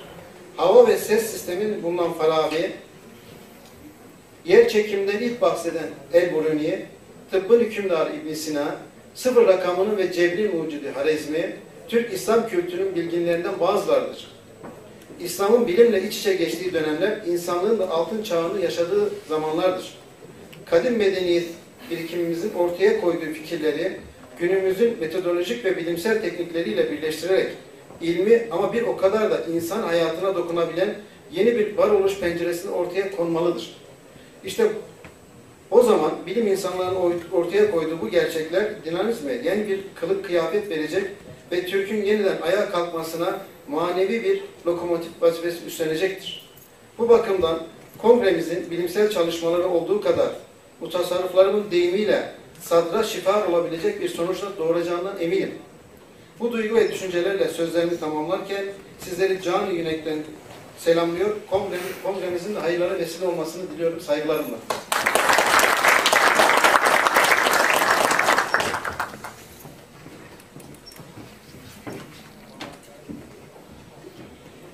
Kütahya Adalet ve Kalkınma Partisi Milletvekili Sayın Ceyda Çetin Erenler'in kongremiz için gönderdiği metni arz ediyorum. Kütahya Dumlupınar Üniversitemiz tarafından düzenlenen 4. Uluslararası Bilimler Işığında Yaratılış Kongresi'ne Aile Çalışma ve Sosyal Hizmetler Bakanımız Sayın Zehra Zümrüt Selçuk ile Sağlık Komisyonu olarak gerçekleştireceğimiz toplantı sebebiyle katılamıyorum. Kongremizin ülkemiz, milletimiz, ilmimiz ve tüm akademik camiamız için hayırlara vesile olmasını dilerim. Toplumların ayakta durmasını sağlayan temel dinamikler vardır. Din de bunlardan biridir. Gücünün tarihinden, ecdadından, inancından alan bir millet olarak bugüne kadar olduğu gibi bundan sonra da var olabilmemizin sırrının bizi biz yapan değerler manzumesine sıkı sarılmakla mümkün olabileceğine yürekten inanıyorum. Rabbim yolumuzda daim eylesin. Allahü Teala Fatır suresinde bizlere yaratılışın birçok inceliğini ve hikmetini hatırlattıktan hemen sonra 28. ayette kulları içinde ancak alim olanların, bilenlerin Allah'ın büyüklüğü karşısında gerçek heyecan içinde kalacaklarını haber vermektedir. Müslüman için yaratılışın inceliklerini kavramak, Yaradan'ı daha iyi anlamak, Yaradan'ın üzerimizdeki hakkını daha derin bir şekilde tefekkür etmek ve bu sayede kulluk bilincini sürekli canlı tutmaktır. Yüce Allah'ın sanatına vakıf olan insan, kendi iç dünyasını, ailesini, toplumu ve hatta bütün dünyayı tezyin etmek isteyecektir. Müslüman insanın yaratılışın karşısında neden kayıtsız kalamayacağı da açıktır. Kainat Allahü Teala'yı tanımak ve sanatını anlamak isteyen insanın önünde açık duran bir kitap gibidir. İnsan imanından aldığı güçle bilimin yolunda ilerlerken hem kainatı keşfedecek hem de dünyaya geliş sırrına erecektir. İnsanlığın kurtuluşuna vesile olan yüce dinimiz İslam, daima insana aklını kullanmasını öğütlerken her iki dünyasını da ihya etmeye teşvik etmektedir. Küresel ve bölgesel tüm dengelerin hızla değiştiği bir dönemde Türkiye'mizin yeni kurulacak düzende hem siyasi yapısıyla hem de ekonomisiyle yükselen bir yıldız konumuna yükselmesi için daha çok çalışırken siz kıymetli hocalarımızı rehberliğinde ilerleyen gençlerimizin ülkemizin ismini daha da yükseklere taşıyacağına gönülden inanıyorum. İbn Sina, Mimar Sinan, İbn Haldun, Biruni, Ali Kuşçu, Cezeri gibi tüm insanlığın ufkunu aydınlatan, dünden bugüne fikirleriyle zihinlere ilham vermeye devam eden, büyük alimleri yetiştiren bir medeniyetin mensupları olarak evlatlarımızın da bilimin aydınlık yolunda ilerlemesini temenni ediyorum. Bu değerli kongrenin dördüncüsünün başarılı çalışmalarını takdirle izlediğimiz Dumlupınar Üniversitemiz tarafından yapılmasını da çok önemli buluyorum. Binlerce yıllık medeniyetlerin izlerini taşıyan kuruluşun, kurtuluşun, kültür ve sanatın kadim şehri Kütahya'mızın böyle anlamlı bir etkinliğe ev sahipliği yapması bizim için ayrıca gurur verici olmuştur. Gerçekleştirilen kongremizin gençlerimizin fikir dünyalarının ve hayata bakış açılarının zenginleşmesine vesile olması temennisiyle emeği geçenlere şükranlarımı sunuyor. Hepinize Yüce Allah'ın rızasını kazanıp ardımızdan hayır duayla ismimizin yad edileceği eserler bırakacağımız güzel bir ömür diliyorum. AK Parti Kütahya Milletvekili Ceyda Çetin Erenler. Şimdi de kongremize konuşmalarını yapmak üzere Kütahya Valimiz Sayın Ali Çelik'i davet ediyoruz.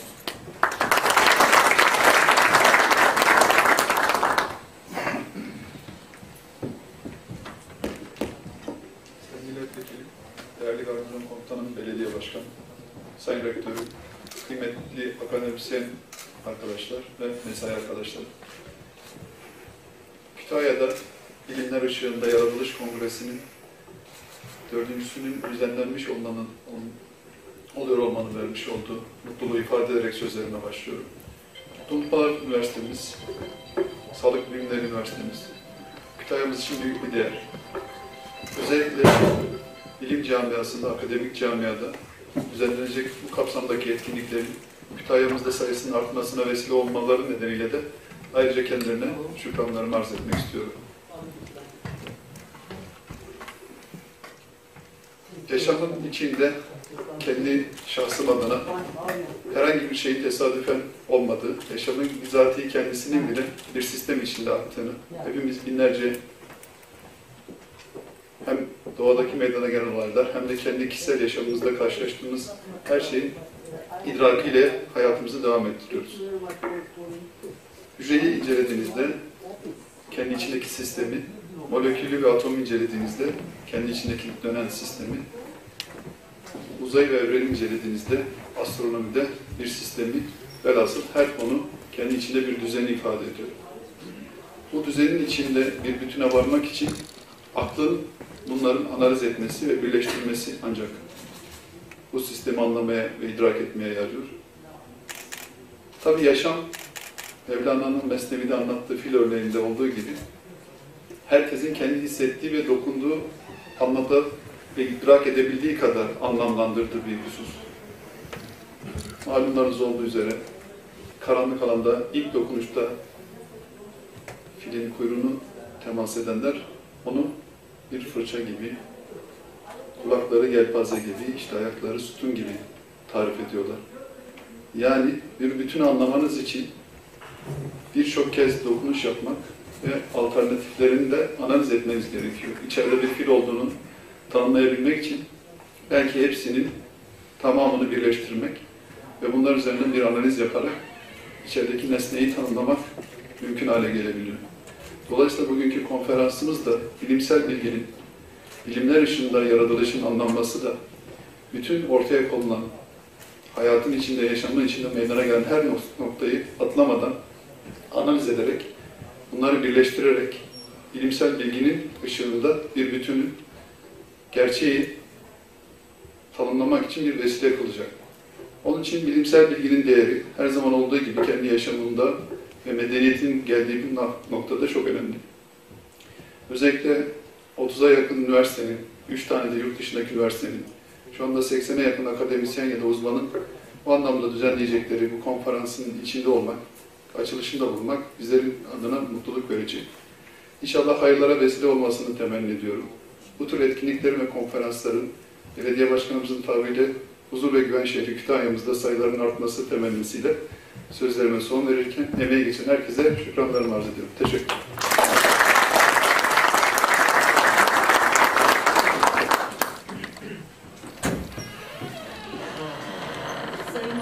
Konuşmalarını ötürü teşekkür ediyoruz. Değerli konuklar, kongremiz bu dakikadan itibaren çevrim içi konuşmalarla devam edecek.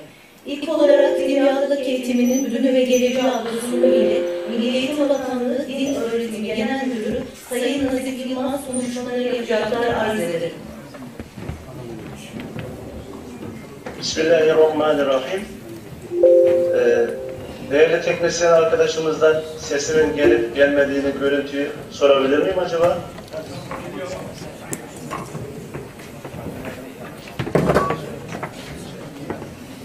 Ses ve görüntü alınabiliyor mu efendim? Ses, ses alıyor hocam. Tamam. Görüntü alınabiliyor mu? Kameramız kapalı, görüntü almıyor şu an. Şu an geliyor. Yok. Görüntü bize geliyor. Geliyor, tamam. Bismillahirrahmanirrahim. Değerli valim, e, saygıdeğer rektörüm, kıymetli vekilim, kıymetli katılımcılar, değerli akademisyenler.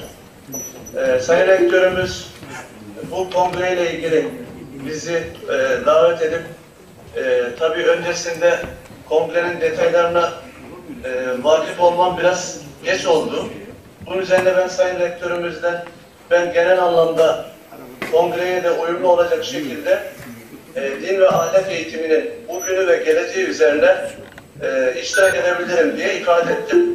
Kendileri de sağ olsunlar e, biz memnuniyetle kabul ederiz dediler. Öncelikle ben bu kongrenin gerçekleştirilmesinde emeği geçenlere çok teşekkür ediyorum. E, elbette e, eğitimin bütün boyutları ele alındığında hem e, din ve ahlak eğitimi açısından hem de çocuklarımızın e, geleceğini e, 21. yüzyıl becerileri açısından inşa etmede bunun gibi kongrelerin çok özel bir önemi var. Tabii din ve ahlak eğitiminin temelinde, değerler eğitiminin, ahlak eğitiminin temelinde özü itibariyle İslam dini ve İslam medeniyeti vardır. Biz e, Din Öğretimi Genel Müdürlüğü olarak 1961 yılında kurulmuş bir e, birim e, olarak faaliyet yürütmekteyiz. Ana gayemiz ana gayemiz e, geleceğini e, inşa ederken özellikle karakter eğitimi verilerek e, kariyer planlamasını merkeze almalarını sağlamak. Genel Müdürlüğümüz e, 1961 yılından itibaren Türkiye'de örgün eğitimde din eğitimi ve öğretimi faaliyetlerini yürütmektedir. Özellikle anayasada belirtilen din ve ahlak eğitimi, seçmeli din ve ahlak eğitimi dersleri, İmam Hatip okullarının müfredatı ve bütün eğitim öğretim faaliyetleri tarafımızdan yürütülmekte.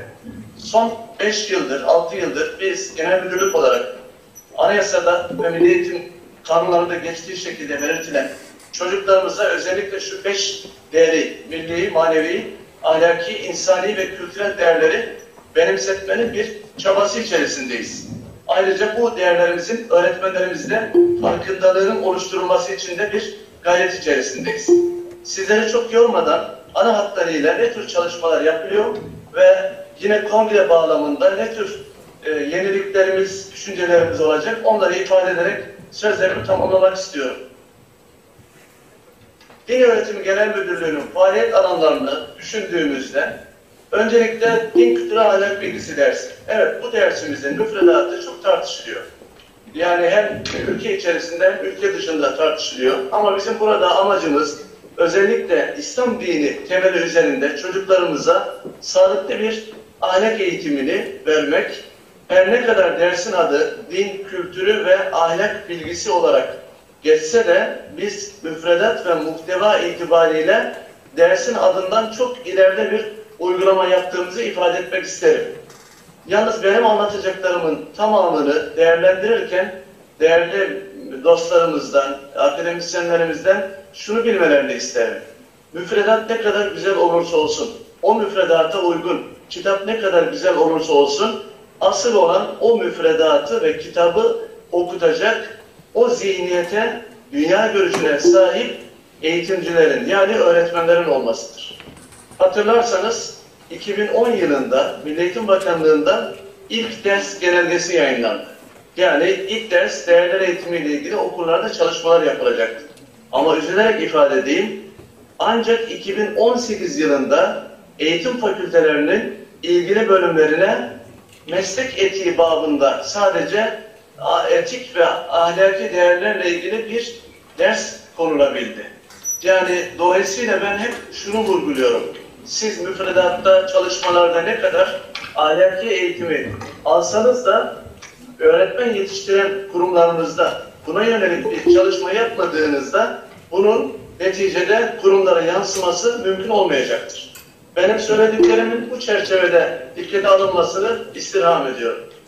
Değerli katılımcılar, e, özellikle din kültürü ahlak bilgisi dersinde çocuklarımıza içinde yaşadıkları toplum değerlerini ve İslam dinini öğrenmenin temel bir müfredatı verilmektedir.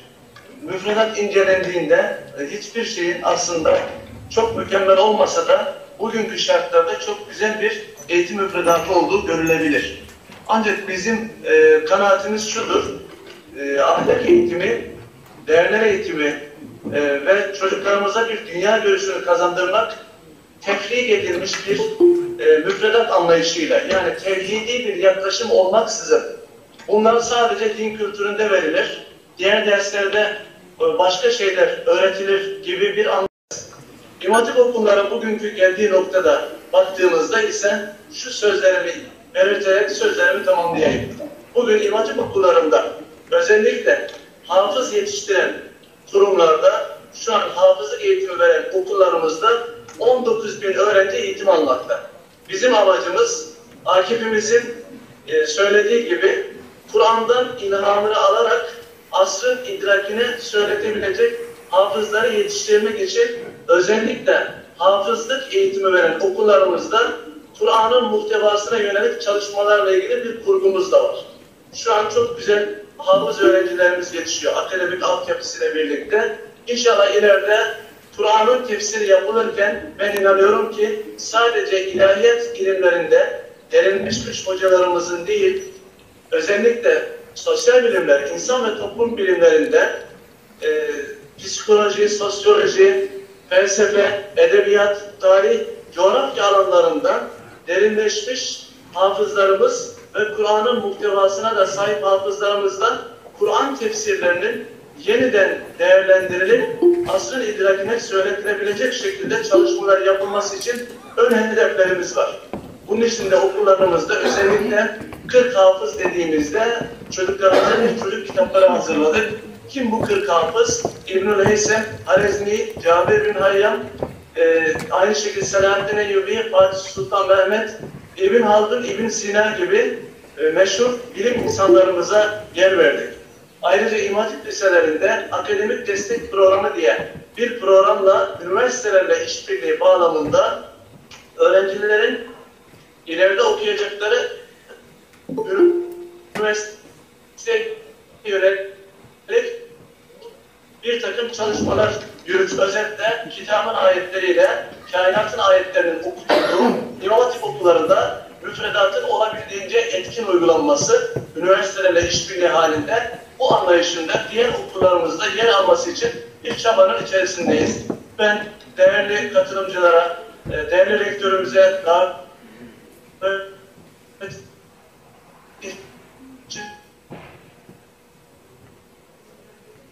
çok teşekkür ediyorum. Sözlerimi çok uzatmadan temenni ediyorum. Allah'a emanet olunuz.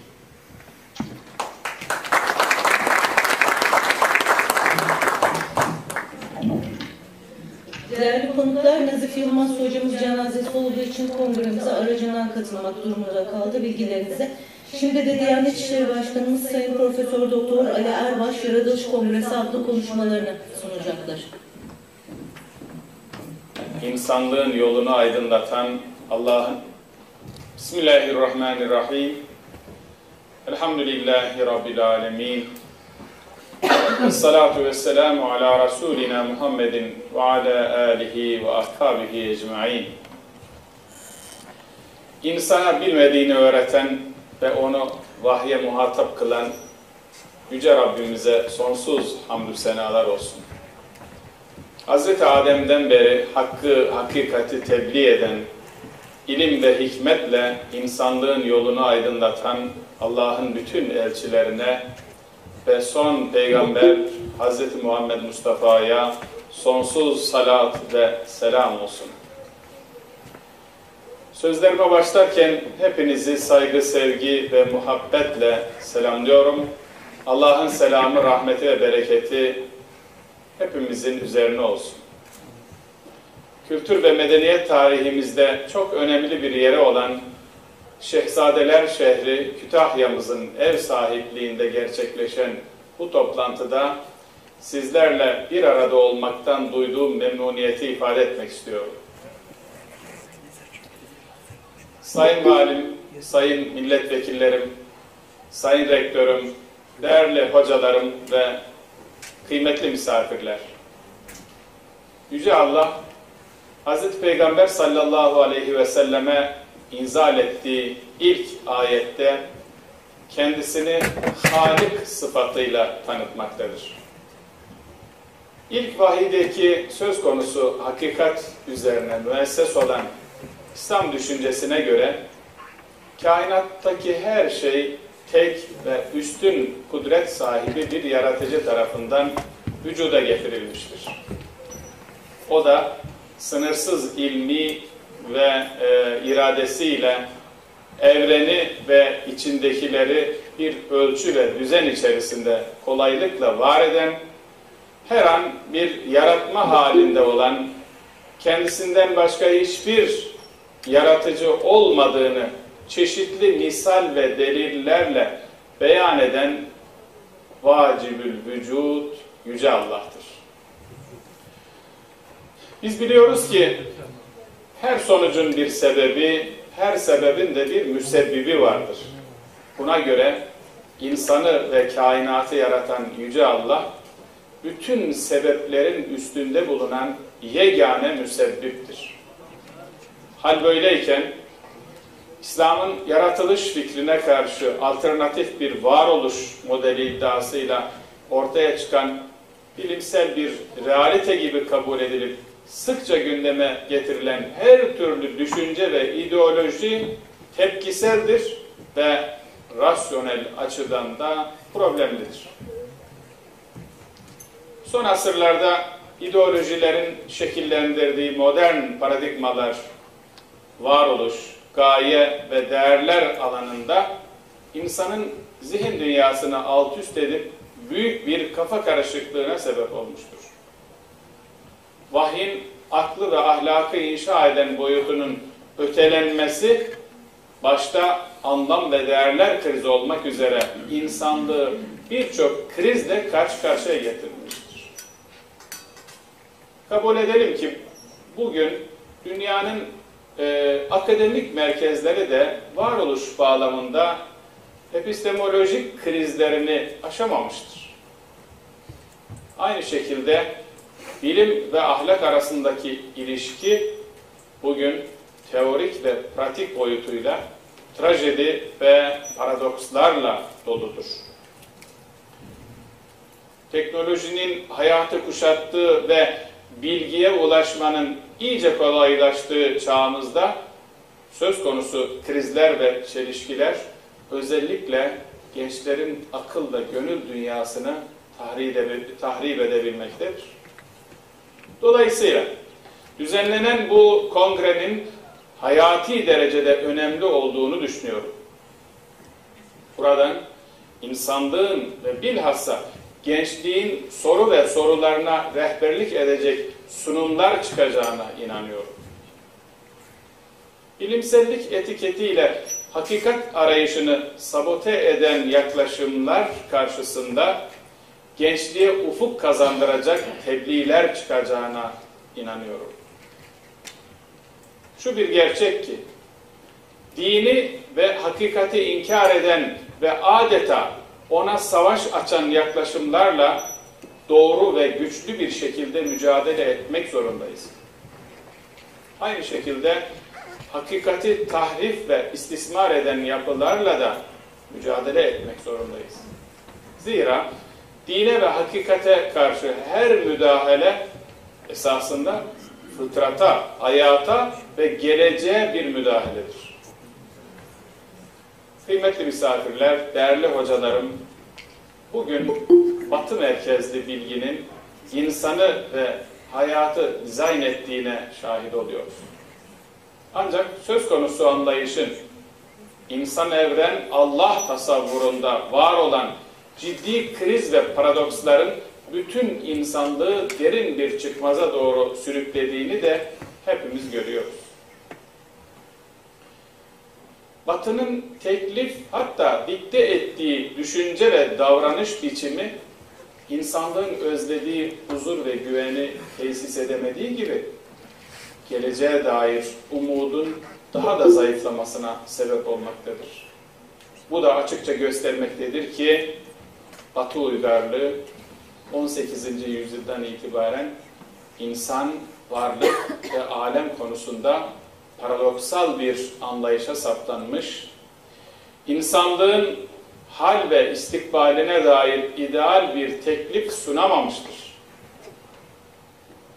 Hakikati anlama çabasında aklı bilimsel bilgiyle sınırlayan yaklaşımlar özellikle bilgi alanında yaratıcıyı öteleyen parçacı ve marazi bir paradigmayı öne çıkarmıştır. Batı merkezli gelişen bu e, bilim anlayışı bugün gelinen noktada insanlığı felakete sürüklemekten alıkoyamadığı gibi yaşanan küresel sorunların da en ciddi sebebi durumundadır. Buna mukabil İslam dünyası da son asırlarda yaşanan gelişmeleri ve olayları maalesef gereği gibi bir analize ve eleştiriye tabi tutamamıştır. Değerli hocalarım, kıymetli misafirler, elbette İslam'da din ile bilim, akıl ile vahiy arasında bir çatışma söz konusu değildir. Dolayısıyla ilmin tüm yönlerini teşvik eden İslam'ın bu olguları birbirine muarız kabul etmesi düşünülemez. Aynı şekilde din ile bilim arasında bir ayrışma da söz konusu değildir. Bu meyanda İslam tarihinin hiçbir döneminde bilginin bugünkü manada İslami olan olmayan şeklindeki bir tasnife tabi tutulmadığının da altını çizmek istiyorum. Nitekim İslam bilim tarihinde İbn Sina gibi hem dini hem de tecrübi ilimlerde zirve pek çok alim vardır. Bu da günümüzde zaman zaman bütünü görmeye mani olan branşlaşmanın ötesinde interdisipliner bir yaklaşımın varlığını ortaya koymaktadır. Üzülerek ifade etmeliyim ki bugün İslam dünyası da fizik, teknik, tıp gibi fen bilimleri alanında ve dahası sosyal bilimler ve hatta ilahiyat alanında bilgi üretme, bilgiyi güncelleyip değere dönüştürme ve hayata kılavuz yapma konusunda maalesef zamanın gerisinde kalmıştır. Esas sorun da zaten budur. Sahih bilgi zeminini kaybettiğimizde, bilgi üretmeyi ve geliştirmeyi ihmal ettiğimizde, sağlıklı düşünme sorunları tespit etme ve çözüm üretme imkanını da ne yazık ki kaybediyoruz. Bu sebeple üretilen bilginin niteliği, toplumun ve dünyanın geleceğine katkısı bizler için temel ölçüt olmalıdır. Bunun için de özellikle yaşanan hayatın sorunları ile insanlığın geleceğine dair meselelerde daha gerçekçi olmaya, daha cesur yaklaşımlarla inisiyatif kullanmaya mecburuz. Bu duygu ve düşüncelerle kongrede sunulacak bildirilerin ve yapılacak müzakerelerin bereketli geçmesini ve istifadeye medar olmasını, ulaşılacak sonuçların milletimiz, alemi İslam ve bütün insanlık için hayırlı neticeleri Cenab-ı Allah'tan niyaz ediyorum. Çalışmalarınızda başarılar diliyor. Tekrar kıymetli heyetinizi saygı ve muhabbetle selamlıyorum.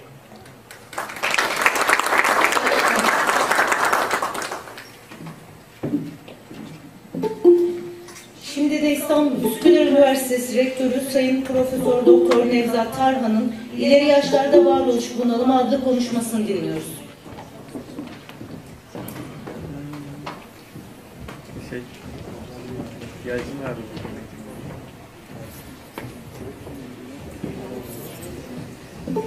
Teknik bilimdeki arkadaşların kontrol edebilir mi? Ses ve görüntü geliyor mu? Ses görüntü, ekran paylaşımını görebiliyor muyuz? Hocam sesinizi duyuyor. Görüntünüzü duyuyor hocam. Ekran paylaşımı, Orada hocam. e, slaytları görüyor muyuz? Evet hocam görüyoruz. Ben gördüğünüzü göremiyorum ama herhalde. Ben, e, tamam değil mi? Ekran gözüktü. Slide gözüküyor mu? Şu an gözüküyor tamam. Peki teşekkür ederim. Ben e, Sayın e, Valim, Sayın e, Vekillerim, e, Belediye Başkanım, Rektörüm, bütün katılımcılar hepinizi saygıyla selamlıyorum. E, dördüncü e, Uluslararası e, Yaratılış Kongresi e, inşallah güzel e, e, fikirlerin doğmasına, güzel e, sentezlerin yapılmasına e, ve güzel adımların atılmasına ve bu konudaki birçok soru işaretleri cevap verilmesine e, neden olur, e, faydalı olur diye düşünüyorum. Şimdi bu Diyanet İşleri Başkanımız çok e, ilginç şeyler söyledi. Bunu bir e, Diyanet İşleri Başkanı'ndan duymak çok önemli. Ben e, burada biraz e, e, ezber bozarak başlamak istiyorum. Düşünüyorum ve konuşmacılar şu ana kadar hep İbn Sina'dan bahsettiler. Harizmi'den bahsedildi. E, Birçok e, e, geçmişteki yaptığımız e, insanlığa, medeniyete yaptığımız katkılardan bahsettik. Ama 500 senedir bir İbn çıkaramadık. Bunu sorgulamadıkça biz ilerleyemeyiz. Yani bu nedenle bunu neden çıkaramadığımızı sorgulamamız gerekiyor. Öz eleştiri yapabilmemiz gerekiyor. Ve şu anda e, ve e, Dil, Dil İşleri Genel Müdürümüz de ahlak ve değerler eğitimiyle ilgili çok güzel gayretlerini anlattı. Fakat neden bu gençler arasında karşılık bulmuyor? Yani İşleri Başkanımız dedi, gençler arasında buradan çıkaran fikirlerin karşılık bulması gerekir. Şu andaki gençler namazın nasıl kılacağını öğrenmek istemiyor. Neden kılacağım diye soruyor. Bu sorulara bizim cevap verebilmemiz gerekir. Biz şu anda bilimde alternatif bir yeni bir bilim alanı açtık. Yani bilimlerin varoluşla ilgili ve özellikle de e, yani yaratılışın e, şu andaki materyal sistemin bize sunduğu varoluş seçeneğinin tükendiğini, cevap veremediğini görüyoruz. Böyle bir durumda bilime malzeme sunmamız gerekiyor bizim. Bu malzemeyi sunmak bu kongrenin e, e, görevi diye düşünüyorum. Bunun için hakikate götüren dört tane yol var benim burada size e, sunmak istediğim. Biri deney ve gözlem. İkincisi akıl yürütme yöntemleri. Üçüncüsü rasyonel sesli, dörtüncüsü inançlar. Şimdi deney ve gözlem mesela ateş yakar, arsenik zehirler. Bu laboratuvarda Burada ekranı görüyor mu? sorun var herhalde. Sesim geliyor herhalde değil mi? Teknik birimdeki arkadaşım. Evet. kontrol edebilir. Şurada Evet. gördüm. Ben yürüdüm. Evet. Şimdi burada yani yaşlanma konusuna geçmeden önce deney ve gözlem şu anda bilimsel metodoloji olarak kullanıyoruz. Deney ve gözlem. E, deney ve göz, gözlem e, şu- e, burada e, konuşmacılar çok güzel söyledi. Yani e, e, üç tane üç alanda ayet bul çıkarmamız lazım. Kur'an-ı Kerim'in ayetleri bize hakikate götüren yol. E, kainat kitabının ayetleri, ayetleri bizi hakikate götüren yol. Bir de bilimde de, bilimdeki ayetler yani kanıtlar o da bizi hakikate götürüyor. Bu dördünün birlikte hepsi bilimdir bunun. Bilim denildiği zaman biz bilim alanının dışında zihin haritamızda dini biz, dini, dini bilgileri bilim olarak kabul etmeyen bir eğitim sistemimiz var şu anda. Türkiye'de öğren, okullarda öğrencilere öğüttüğümüz yani bilim iyidir, yani sosyal bir kurumdur, faydalıdır ama e, e, bilime aykırıdır diye, diyen bir bilim olarak görmeyen bir anlayış var. Bu eğitim sistemimizde bu anlayış değişmeden bizim e, burada e, yapacağımız bütün ahlaki karakter inşası ve eğitimler hepsi havada kalır. Çünkü insanların e, bilgiyi beynine kaydetmesi için bir insanın onu ve bu dört yoldan biriyle kanıtlaması, geçmesi gerekiyor. Deney ve gözlem de e, olumlamak veya olumsuzlamak gibi yöntemler var. Akıl yürütme yöntemleri. Ve rasyonel sezgi öyle dur çok ilhamla ortaya çıkan bilgiler Mesela kimyada da var böyle bilgiler.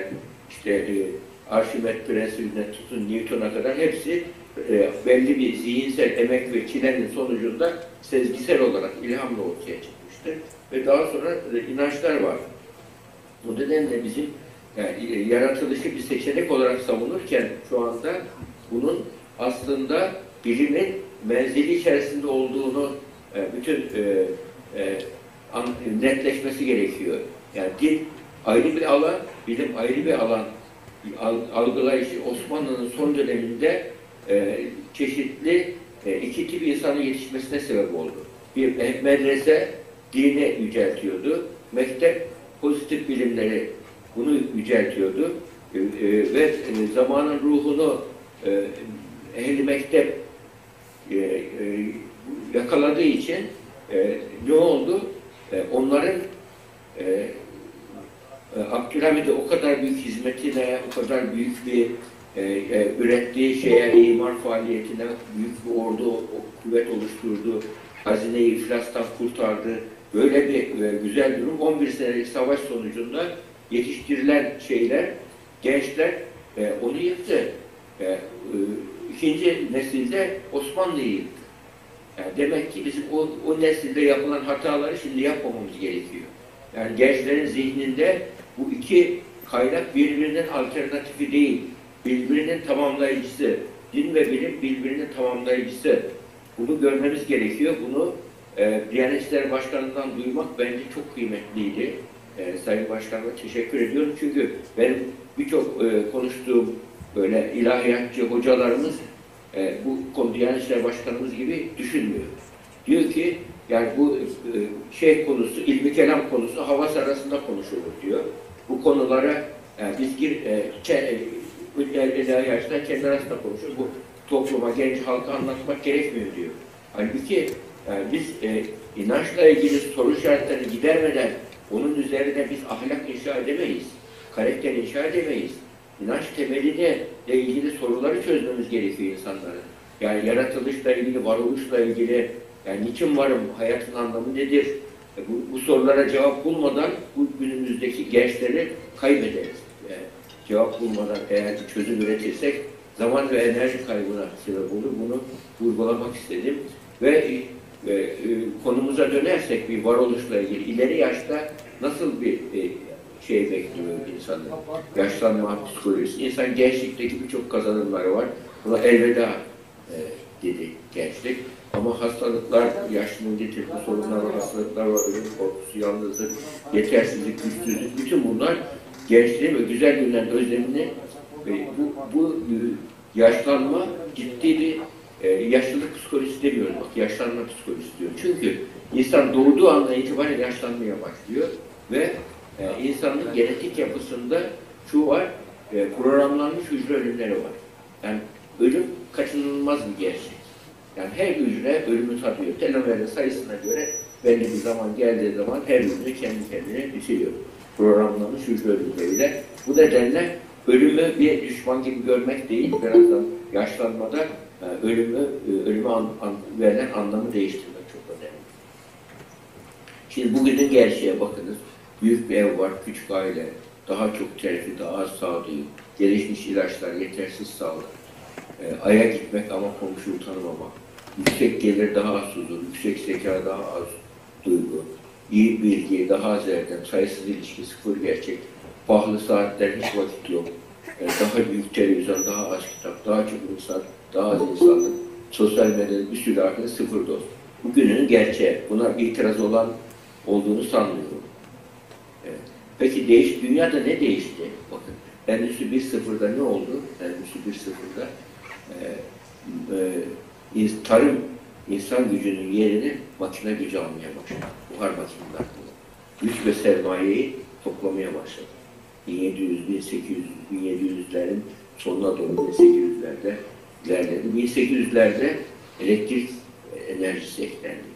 İkisi birleştiği zaman Endüstri 2.0 oldu. Güç ve sermaye ve hakimiyet, güç, sermaye ve hakimiyet bu e, bunu bulunduranların eline geçti. Üçüncüsünde endüstri devrimini de e, 20. yüzyılda bu e, 20. yüzyılda e, makine gücü, elektrik gücünün yerine de elektronik güç eklendi. Elektronik gücüyle bir Endüstri 0 oldu. Daha sonra Endüstri 4.0'da şu anda görüyorsunuz bugün Endüstri 4.0 21. yüzyılda ortaya çıktı. Otonom robotlar, simülasyonlar, sistem entegrasyonları, e, nesnel internet, siber güvenlik, bulut iletişim, big, e, nihayet e, artırmış gerçeklik ve big data. Şu anda büyük dataya, büyük veriye hakim olan bütün dünyaya hakim olacak durumda. Yani dijital platformlar, bak biz şu anda ABD'de yazılmış bir dijital platform kullanıyoruz. Mesela 10 sene önce gençlere biz tablet dağıtmak yerine bin tane, on bin tane e, yazılımcı yetiştirseydik daha doğru olur şu anda bakıyoruz.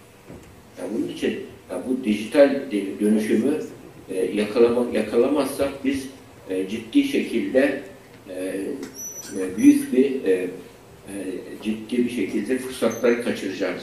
Yani şu anda zihinlerimizi okuma noktasına kadar ileri geldi. Ve bu çerçeve Batı şu anda bütün bu başarısına rağmen teknolojideki başarısına, maddi refahına rağmen ama manevi olarak refahta değil. Manevi olarak çok e, kötü durumda. Hele bu Covid'den sonra iyice e, şey duruma girdi. Yani Batı'nın medeniyet krizi çökmeye başlayacak. Ben bunu şuna benziyorum. Romanın son dönemindeki yıkılış veba salgınlarıyla olmuş romanın son dönemi. Tüm gücüne rağmen hem bir sefaatin yaygınlaşması var hem de veba salgınlarıyla mesela e, şeye karşı e, Tunus'tan gelen orduya karşı veba nedeniyle karşı koyamamış. İlginç. Ve, e, ve, ve vebanın e, siyaseti nasıl etkilediği bir örneği de Hazreti Ömer'in e, e, şeyi Sasani İmparatorluğu'nun yıkışında karşı tarafta bulaşıcı hastalık salgını ne- nedeniyle büyük bir ordu olduğu hale karşılık olamamış. Yani kader onunla yani yardım etmiş o zaman Hazreti Ömer'e. Yani şu anda ben e, bu Covid sal- salgınının da bu anlamda Batı medeniyetindeki manevi krizi hızlandıracak gibi bir etki yapacağını düşünüyorum. Bu bize e, e, alternatif sunma fırsatı verecek bize. Yani arayacaklar şu anda ya toplum mede- medeniyet çöküyor bak biz e, her şeyimiz var, gücümüz var, silahımız var, her şeyimiz var ama e, bu hastalık karşısında aciz kaldık ve e, e, insanlar e, ciddi şekilde ruh, ruhsal hastalık pandemisiyle ilgili resmi açıklamalar başladı. Yani onun için depresyon pik yapacak. Çok hastalık pik yapacak ve İngiltere'de 2018'de haber olmuş bir İngiltere'de Başbakanlık Ofisi'nin e, haber yaptığı bir şey görüyorsun. E, bir e, yalnızlıktan sorumlu bakanlık kuruluyor İngiltere. Bu 2018. Yani bu demek ki 8,5 milyon ileri yaştaki İngiliz evde yalnız yaşıyor. Ve bunlar ani ölümler var, hastalıklar var. Ve buna çözüm üretemiyorlar. Ayrı bakanlık kurmak zorunda kalıyorlar. Yine İngiltere'de Manchester City Üniversitesi ile BBC'nin ortak yaptığı bir çalışma 2018'de bu yayınlandı. Yalnızlık çalışması. Burada da ilginçtir. Yani hep ileri yaşta beklenirken %27 çıktı. 16-24 yaşındaki gençlerde e, bu yalnızlık %40. Dijital yalnızlık var. Sosyal izolasyon var bu gençler. Ve bu gençlerin bir özelliği de var. Evlenmek istemiyor bu gençler. Ben ne diyor? E, özel yaşayacağım, hayatımı yaşayacağım. Niye evleneyim ki? Böyle bir nesil ve diğer bir, bu gençlerin diğer bir şöyle bir söylemi daha var.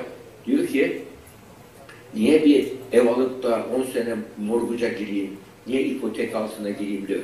Bunu e, yıllarca e, kendi özgürlüğümü kısıtlayayım diye böyle bir nesil var. Yani onun için yani üreten, çalışan neslini Batı e, ciddi şekilde kaybetmek üzere bu yani biz çok konuda biz bu konuda çok e, etkilenmedik diyemeyiz yani. Bizde de benzer.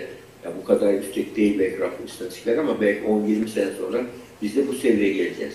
Onun için burada bizim bu yalnızlık çalışması Batı medeniyetinin krizinin en önemli göstergelerinden birisi ve bu kriz bize de bulaştı şu anda. Bulaştı. Buna karşı çözüm üretmek, e, e, gençleri e, buna e, bu konuda bilinçli şekilde e, yetiştirmek bizim de sorumluluğumuzda diye düşünüyorum. Burada bu ilginç bir e, e, ben e, başlamadan önce şu gözle diyorum. Bu genetik bilimci insan beynini nasıl e, genleri, düşüncenin genleri nasıl değiştirdiğini söylüyor düşüncenin. Ve düşüncenin nasıl ve bu algıların, inançların, negatif düşüncelerin ve pozitif düşüncelerin genlerimizi nasıl değiştirdiğini söylüyor. Ve bunu plasebo ve nocebo örnekleriyle anlatıyor. Plasebo'da biliyorsun hasta olmadığını, e, e, hasta karbonat gibi böyle ilaç olmayan etkide bir ilaç veril, şey verildiği zaman kişiye e, o baş ağrısı geçer ilaç zannettiği için. Plasebo etkisi. Nocebo etkisi var. E, orada da kişi e, ben aldığı şeyin hasta edeceğini düşünürse başlar başı dönmeye hasta olmaya aldığı ilaç. Bu da nocebo etkisi. Bunun e, nasıl düşüncenin e, genlerimiz nasıl etkilediğine dair kısa bir video.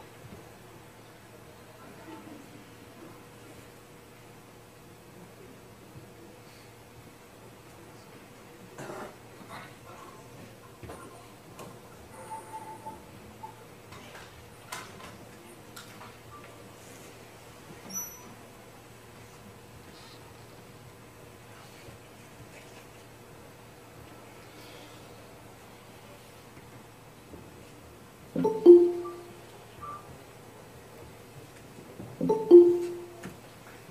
ve sessize alamıyor musunuz acaba? Sorun oldu herhalde.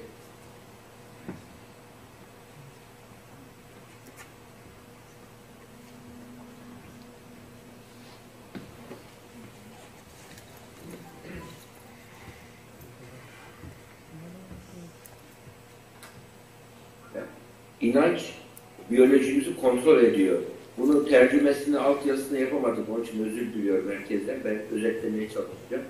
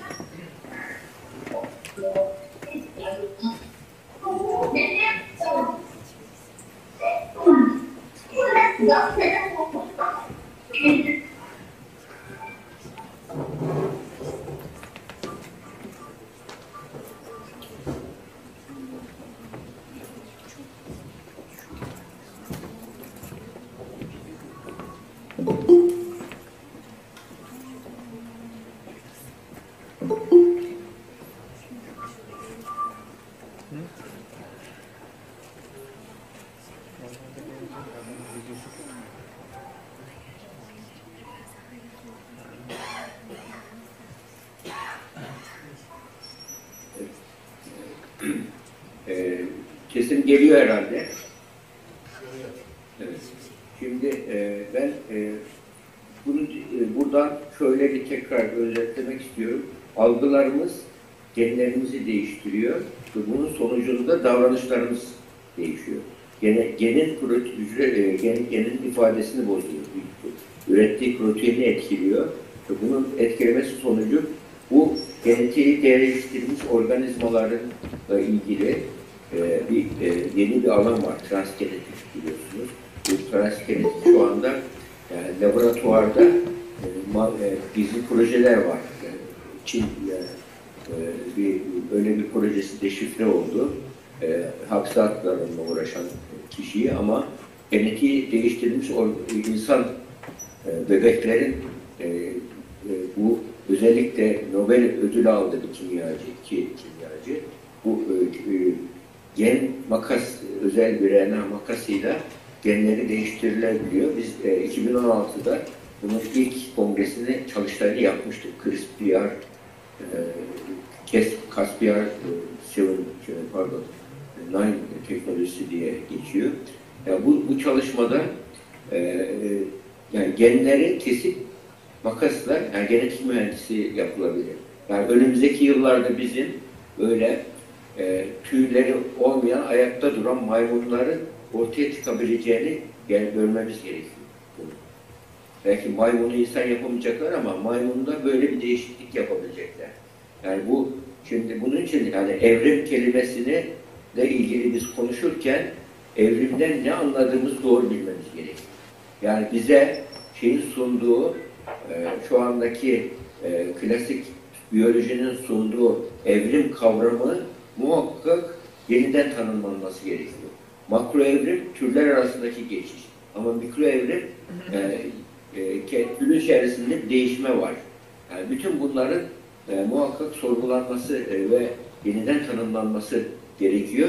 E, genleriyle e, oynayabilir, e, oynanabilir bir durumda. Yani türden türe e, e, bir geçiş olsa bile böyle bir durumda bütün bunlar hep yani biz şu, şu noktadan bir yanlış yapıyoruz.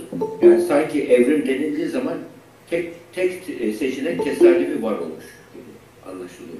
Halbuki tesadüfi varoluş yani böyle e, tasarımsal varoluşun olduğu bir e, e, evrim anlayışı ilahi mesajlara, kutsal metinlere aykırı değil benim e, gördüğüm. Bunun da tartışılması gerekiyor. Yani bu kongre bununla ilgili bir bence bir komite kurmalı, komisyon kurmalı. Bu konuda bir e, karşı fikirlerin hepsinin tartışıldığı ve yani bizim karşı çıkmamız gereken evrim değil, tesadüfi varoluş olduğu. Her şeyin tesadüfen olduğunu, olduğuyla ilgili görüşü de e, göz önüne almamız gerekir diye düşünüyorum. Şimdi peki bu e, böyle bir durumda işte, genleriyle oynanabilir durumda bilim bu noktaya geldi. E, bu düşünce bile geni değiştirebiliyor. E, biz e, DNA teknoloji, e, teknolojisiyle de ge- genetik mühendisliği yapabileceğiz ve böyle bir dünyada nereye gidiyor dünya? Yani biyolojik, psikolojik boyuta gelirse 3. Dünya Savaşı'nın ilk mermisi internetten atılacak diyor bir NATO strateji uzmanı ve da 2018'de Davos'ta beyinlerimiz seklenebilir dedi. Hatta Harari'nin ver- verdiği enteresan bir mesaj var orada. Ee, diyor, biz son özgür nesiliz diyor. Eğer biz e, ve dijital bir dünyada yani eğer sen cep altına e, dijital e, bir plant e, e, elektronik implant yerleştirilmezsen sen uçağa da alınacaklar. Seyahat edin. O noktaya kadar e, götürülecek. Buna karşı son özgür nesiliz tabii tezini ciddiye almamız gerekiyor. Peki dünyada bu teknoloji güçlü, bu kadar bilgi birikti ama bir taraftan da e, dünyada bir medeniyet krizi yaşıyor Batı. Bu medeniyet krizinde üç tane kritik değişken var. Birincisi neden bu medeniyet krizi? Refah seviyesi niye yükseldiği halde e, intiharlar artıyor, boşanmalar artıyor, yalnızlık e, bir şekilde artmış ileri yaşta. Ben ayrıntıya girmedim bugün şey için, konumuz şey olmadığı için. E, genel e, böyle gençlik olmadığı için ama cid- ciddi şekilde e, bu e, e, medeniyet krizi gençleri çok etkiliyor. E, muhakkak çözüm üretmemiz gerekiyor. Şimdi bu üç tane kritik değişken burada etkiliyor. Birinci seküler yani somut zevkler var, e, nefsani istekler var, akla, fikre ve yüksek hissiyata baskın hale geliyor. Ya bu zamanda insanoğluna öyle bir dünya sunuluyor ki tek dünya, sadece bu dünya, hiç ölmeyecek gibi yaşam üretiyor. Ölüm ve ölüm sonrasıyla ilgili açıklama getirmeye e, bu modernizm kapalı. İkincisi narsizm ortaya çıktı burada. E, bu başarı, bedeni rahatlık, akıldan kaynak kibir ve yarışmacılık var. Bu tüketim kültürü bunu teşvik ediyor. Çünkü tüketim e, kültürü kazan tüket çarkının işlemesi için üretimi tüketerek artmayı yüceltiyor. Yani bu, bunun sonucunda da insanların devamlı üretmesi lazım, devamlı yarışması lazım. Yani kapital sistem son, sonucunda e, maddi refahımız arttı ama manevi refahımız yerlerde sürünüyor. Bu, bunun önemli değişkenler. Üçüncü değişkeni de materyalizm yani her şeyi maddi keskinlikle izah. Ama görüyorsunuz o biraz önceki kısa sunumda da her şeyi, e, düşünce maddeyi de geri değiştiriyor. Nasıl her şeyi biz maddeyle idare ederiz? Hele kuantum dinamiği anlaşıldıktan sonra materyalizm çöktü, bilimsel olarak çöktü materyalizm. Yani çöktü. E, çünkü e, kuantum e, dinamiğine göre önce bilgi var, bilgiden sonra e, matematik var. Ondan sonra enerji var, fizik var. Ondan sonra e, madde var, kimya. Ondan sonra da canlılık var, biyoloji var. Bütün bu hiyerarşi içerisine baktığımız zaman e, materyalizm önce madde var diyor. Ve e, diyalektik materyalizmde maddeye karşıt görüş olarak soyut bilgi öyle üretiliyor. Madde her şeydir, ezeli ebedidir diyor. Maddenin ezeli ebedi olmadığı e, e, entropi yasalarıyla da anlaşıldı, Big Bang'le de anlaşıldı. Yani şimdi ve dünya, e, evren ısı ölümüne doğru gidiyor entropi yasası. Bir son var, bitiş var. Isı ölümüne gidiyor evren. Şimdi bir taraftan da ilk başlangıç var, Big Bang var. Zaman ve mekandan bağımsız olan bir başlangıç var. Materyalizm bu nedenle çözüm üretemiyor. O halde evrende şu anda en materyalist kişiler bile artık yani şöyle söylüyorlar, sanki e, bir yüksek bilgisayar teknolojisi kullanan yüksek bir topluluk var. E, evreni o var etti. O gerektiği zaman bize yardım edecek diyorlar. Yani Allah dememek için e, bu şekilde bir kavram e, geliştiriyorlar. Bu aslında materyalizmin iflasının itirafıdır. Bunun da bunun it- e, sebep olan da kuantum. Kuantum dinamiğinin bulunmasıdır. Bu nedenle bizim burada e, Bediüzzaman Hazretleri'nin buradaki güven nüktesine vurgu yapması çok manidar. Onu söyleyeyim. Güven nüktesi çünkü tam kuantuma şey, şeye e, şey, dalgalar, radyo dalgalarından bahseden bir bah- bahis. Ona e, vurgu yapıyor. Yani bunun, bu da materyalizmin e, çöküşünün en büyük bilimsel temelini oluşturan gerekçe e, kuantum dinamiğinin tesadüfi varoluşu olamayacağı gerçeği. Modernizmin üç hastalığı anomi, Kaliforniya sendromu, sosyal entropinin yükselmesi. Şimdi burada e, anomiden ne anlayacağız? Anomi hastalık anlam kat, e, modernizm varoluşun hayata anlam katman şifrelerini değiştirdi. İnsanı inorganik maddeler yaptı dedi. İşte karbon, hidrojen, oksijen, azot gibi. E, onlar hesap sormuyor dedi. O zaman benden kimse hesap sormuyorsa ben istediğim gibi yaşarım diye hayatın anlamını değiştirdi. Bu anlamış varoluşun amacını da değiştirdi. Böyle olunca anlam değişince varoluşun anlamı çünkü ölümden hesap verebilirlik kalktı. Ölümden sonra yaşamla ilgili bir anlam e, kalktı. Bu anlam olmadığı zaman da insanın halbuki insanda anlamı aramayla ilgili metakognitif genler var anlam arayışı. Ve e, diğer canlılardan insanı ayıran önemli özellik anlam arayan, e, varoluşu sorgulayan, zamanı algılayan bir varlık insan. Metabilistsel genler bunlar. Yani zihin üstü genler. Bu genlere göre ki e, bu çalışma şu anda e, ciddi bir e, araştırma alanı olarak devam ediyor. E, bunun için dini sadece sosyal bir kurum olarak sundu modernizm. Halbuki din sosyal bir kurum değil, varoluşsal bir kurum. Hayatın varoluşun nedenlerini de anlatıyor.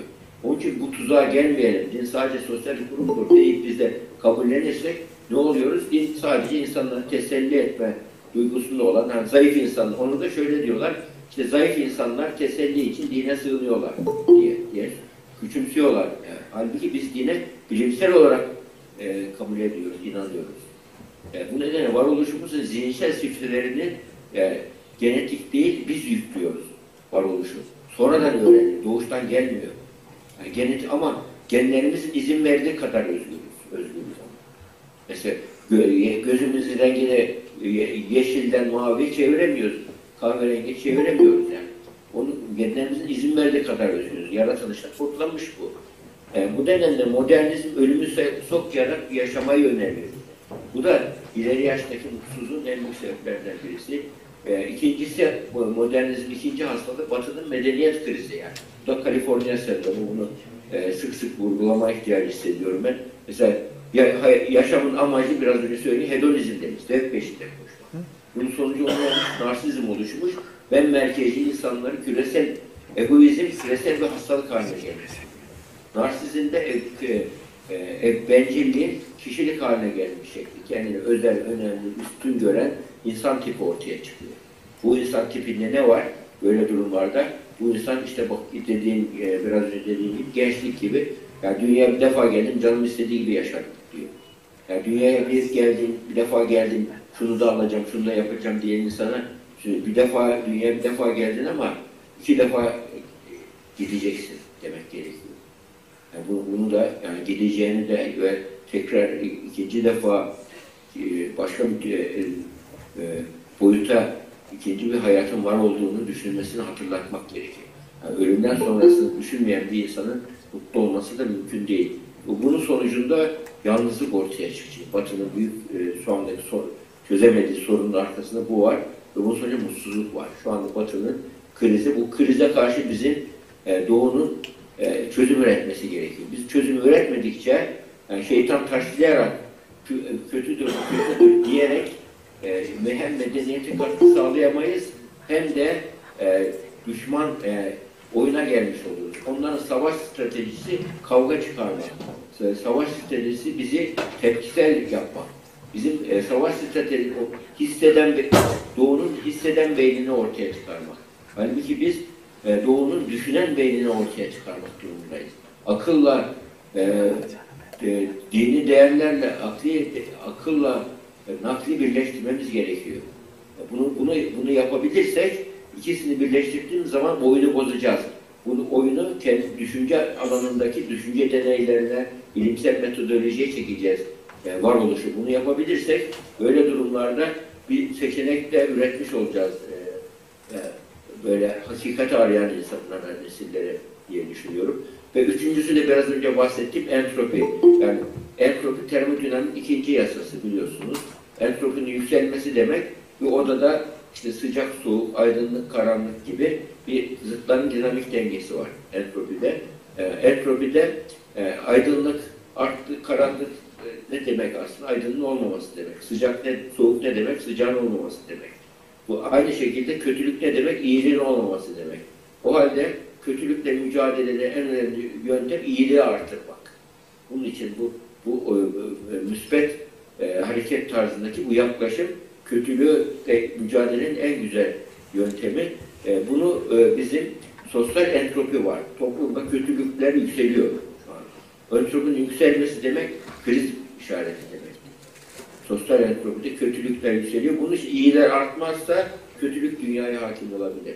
Onun için bizim muhakkak iyi ve güzeli artırmayla ilgili seçenekler sunmamızda e, diğer bir sorumluluğumuz. Burada bir doğu meseleyle Tolstoy'un İtirafları kitabında var bu. E, bunu birçok kimse biliyor. Bu e, şeylerde de e, 8. sözde de e, Risale-i Nur'da geçer. E, Tolstoy'un itiraflarında var. Aslında Mevlana da biraz bahsediyor bundan. Bu kuyu örneği biliyorsun. Çölde giderken kuyuya düşüyor. Kaçıyor. Arkasından aslan kovalıyor. Kuyuya düşüyor. Kuyunun ortasında e, tutunuyor bir dala. Aşağıda da canavar var.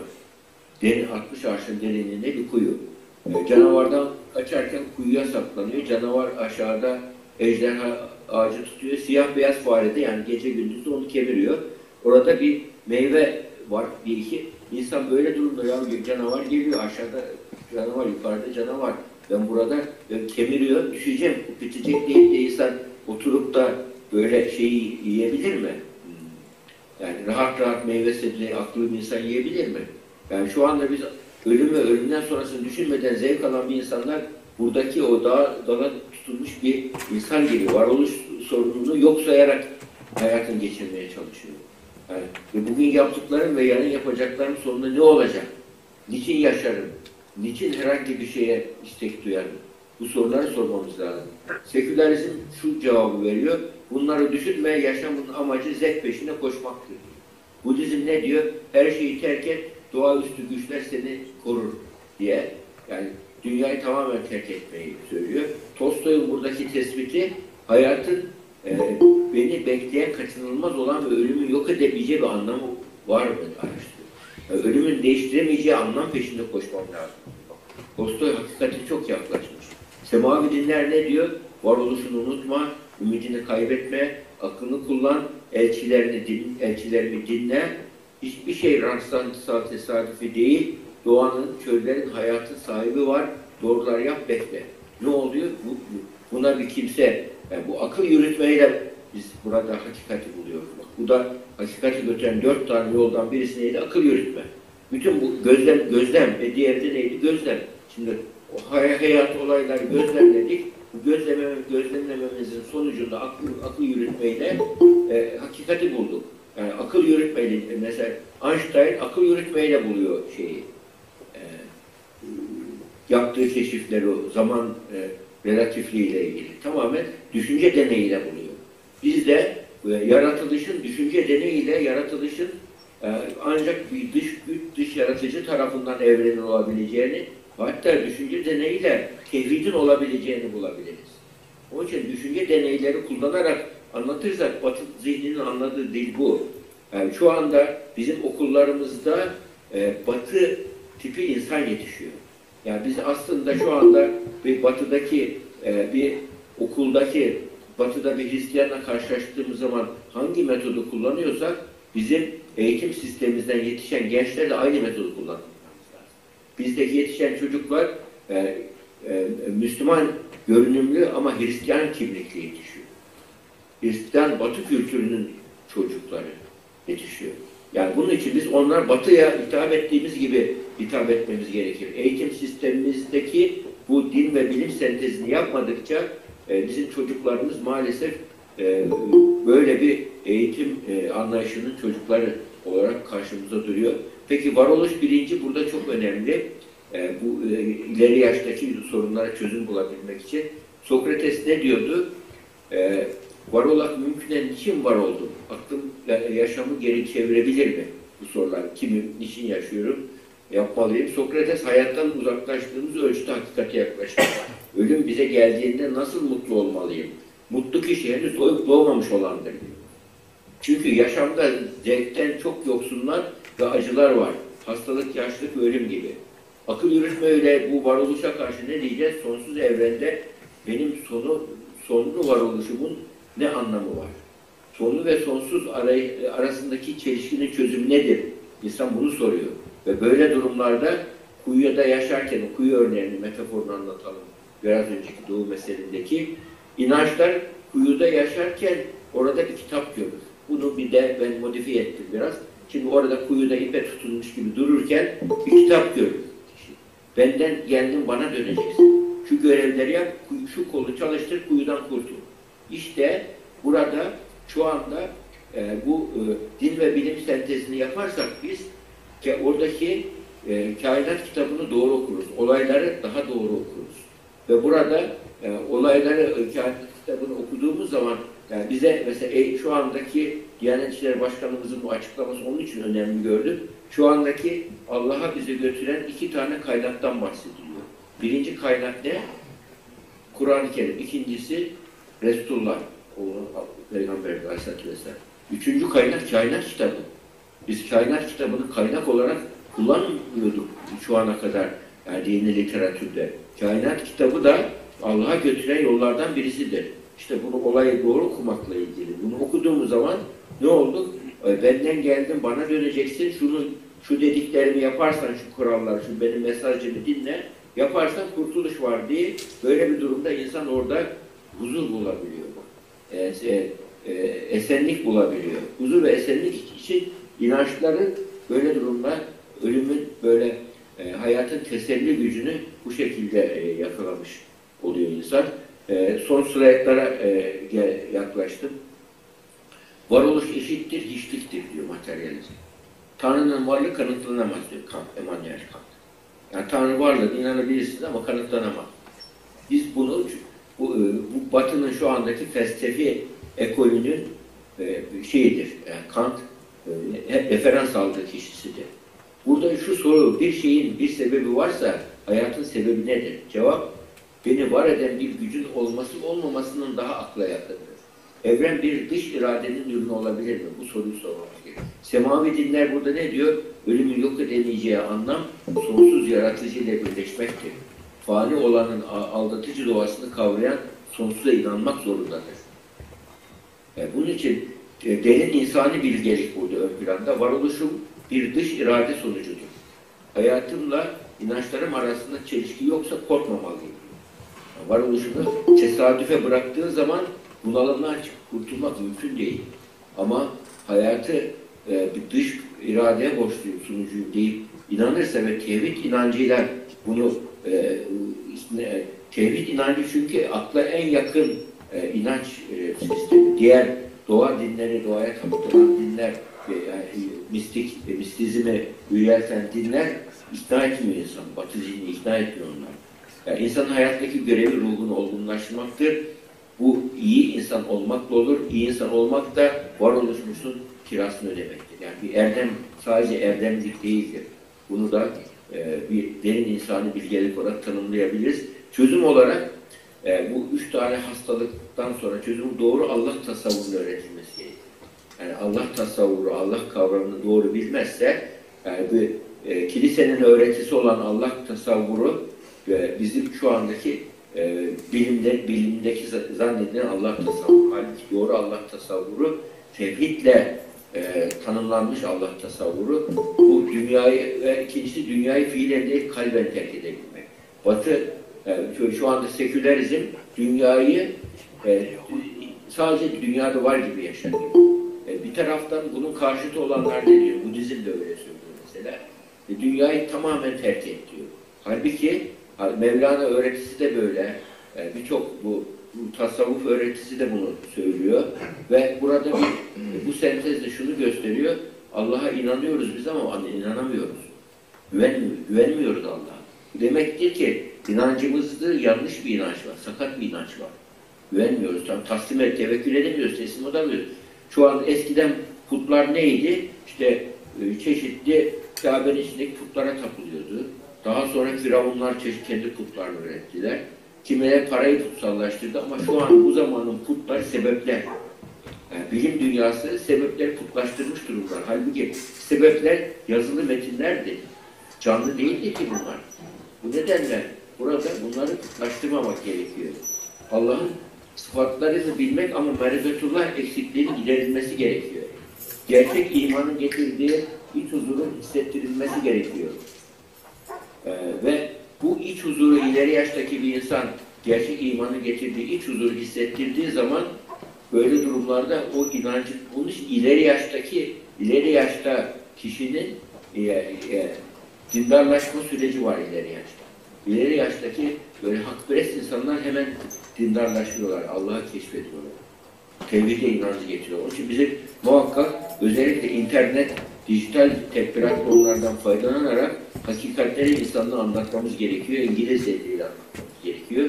Ve sahte dindarlığa ve gizli şirke kavramamak gerekiyor. Şu anda dünyada Müslüman çok ama mümin az. Bunun için ya, mümin, o gerçek müminler ortaya çıkması için bunu bizim e, söz diliyle değil, davranış diliyle yaşayan e, e, çözüm üretmemiz gerekiyor. Burada bizim klinikte uyguladığımız yaşamda amaç testi var. Bunu e, e, mesela ben genellikle e, coşkulu ve etkiliyim diye birden beşe kadar sınırlandırıyoruz. Mesela hayat bana göre tamamen sıradan ya hayat bana tamamen heyecan verici gibi böyle burada anlam arayışı sorular var. Amaç testi var. Aynı zamanda anlam testi var. Alt kategorilerde hayatın mesela emekli olduktan sonra hayatın geri kalanını tamamen hiçbir şey yapmadan geçireceği hep istek duyduğum bazı şeyleri yapacağım diyor. Benim hayatımı ben boş sadece umutsuzlukla dolu yapacağım veya heyecan verici yaşayacağım.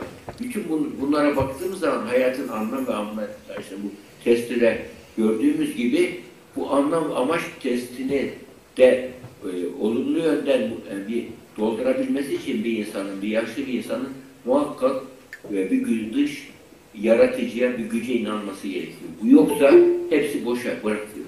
Onun için bu testte bir e, Allah'ı seçenek olarak düşünmeyen bir kimse bu te- testte bir ikisi arasında kalıyor.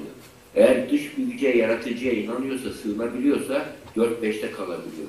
Çünkü bu inanç varsa, eğer sağlam inanç, dinin teselli gücü varsa kişi bütün sorularına cevap bulmuş gibi, bütün ihtiyaçları karşılanmış gibi, bütün istekleri giderilmiş gibi ve sanki evrenle bütünleşmiş gibi bir duygu yani.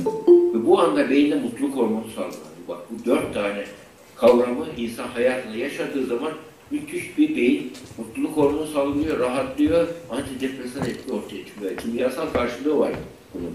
Ama bunun olması için 4-5 sınırında puan alabilmek için muhakkak burada kişinin bir e, sağlam bir e, dış güce güven ilişkisi kurabilmesi gerekiyor. Yani güven e, ilişkisini kurabildiği zaman o kimse bir yaratıcıyla güvenli bağlanmayı sağlaması lazım. Şu anda modernizm bize bir yaratıcıyla güvenli bağlamak yerine bizi dünyaya bağlıyor, paraya bağlıyor, sevgililere bağlatıyor gençleri. Böyle geçiciye kontrol edemeyeceğimiz, e, devam ettiremeyeceğimiz şeylere bağlatıyor. Halbuki her, her şeyi kontrol eden, benim sesimi işiten, kalbimden geçen hatıraları duyan güç var. O bana yardım edebilir duygusu sağlam bir inanç. Bu inanmanın verdiği iç huzurunu bu zamanın Müslümanı yaşayamıyor. Çünkü Müslüman ama mümin değil. İnan, inancın tam hakkını veremiyor. Ve bir, e, şöyle bununla e, bir, slide daha var, bitirmek istiyorum. Toplayıcı avlayıcı çağındaydık insanlık, bilgelik yani. Moder, modernizm, medeniyet krizi yaşıyoruz dedik ya. Tarım çağına geçtik. Ve hızlı bir şekilde ilginç endüstri çağı 1800'lerde başladı. 20. yüzyılda modernizm, biz bilgelik çağı. Halbuki bizim nesille, e, bizim nesille bak, tarım toplumunu yaşadık biz. Sanayi toplumunun 1, 2, 3'ü yaşadık, 4'ü de yaşıyoruz. Ama bilgelik, bilgi çağından bilgelik şekline, yani post korona çağı da denebilir, Ayasofya çağı da denebilir. Ayasofya burada bence bir sembol. Yani Fatih Sultan Mehmet bunu e, e, ismi değiştiren çok anlamlı.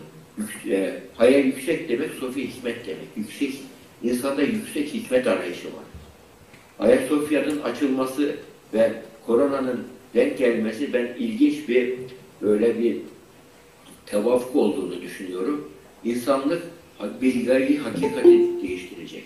Ayasofya bunun için bir sembol. Ayasofya bence siyasi bir sembol değil. Ayasofya insanlığın hakikati keşfetmesinin post turundan yani hakikat arayışı içerisinde e, hakikati bulmasının kapılar açılacak. Ve bunun için bizim de bu kongrenin burada tarihi ve e, sanki e, ilahi e, e, yarın Allah'ın huzuruna gittiğimiz zaman ben şunları şunları yaptım diyebilmek için ilahi bir sorumluluğu var diye düşünüyorum. Ve şu sözlerle bitirmek istiyorum. Yaşlılardaki e, bu e, biliyorsunuz ahiret, yani yaşlılarla ilgili şu mesajlar var. Ahiret var ve bakidir. Dünyadan daha güzeldir. E, dünya bütün şaşasıyla beraber ahiretin yanında zindan izindedir. Ölüm Allah'a kavuşmaktır. İşte bu teselli veriyor bize. Ve burada Bediüzzaman'ın beş devasıyla e, teşekkürlerimi bitirmek istiyorum. Dost istersen Allah yeter. Evet o dost ise her şey dosttur. Yaran istersen Kur'an yeter. Evet ondaki enbiya ve melaike ile hayalen görüşür, görüşür ve e, bu kartlarda seyredip ünsiyet eder. Rahat ya o onun verdiği o teselliyi yani insan dost dünyaya yaşasında yani yaran e, etkisi Kur'an Kur'an'ın Kur'an'ın yüzeyden okumak değil anlamını okumak. Onun için e, manasını e, anlayan e, nesiller yetiştirebilmek gerekiyor. Mal istersen kanaat yeter. Evet kanaat eden iktisat eder, iktisat eden bereket bulur. Düşman istersen nefis yeter. Evet kendini beğenen belayı bulur. Zahmete düşer. Kendini beğenmeyen safayı bulur. Rahmete e, gider. Nasihat istersen ölüm yeter. Evet ölümü düşünen bu dünyadan, dünya muhabbetinden kurtulur ve ahiretine ciddi çalışır. Yani bu ileri yaştaki insanların yani aslında hepimizin e, şu anda tesellisi için birer e, e, traje gibi söyleyebileceğimiz devalar sabırla dinlediniz. E, teşekkür ediyorum.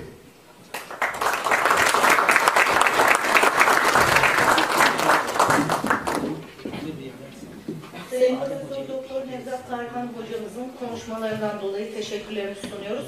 Son olarak da Orta Doğu Araştırmaları Merkezi Başkanı Sayın Profesör Doktor Ahmet Uysal'ın Pozitivizmin Orta Doğu'ya girişi ve etkileri adlı konuşmasını dinliyoruz.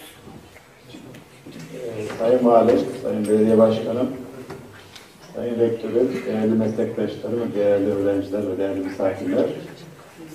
Eski bir Dumlupınar Üniversitesi öğretim üyesi olarak ben de aranızda bulunmaktan gerçekten mutluyum.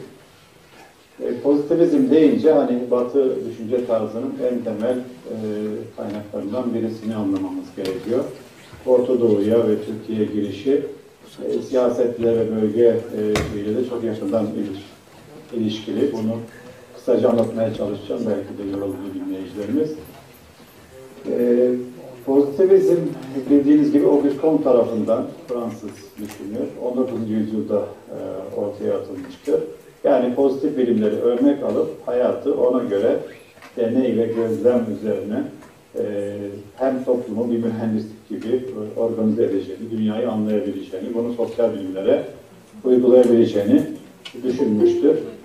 Ve e, özellikle özlem ve deney yani görmediğine inanmayan bir anlayıştır.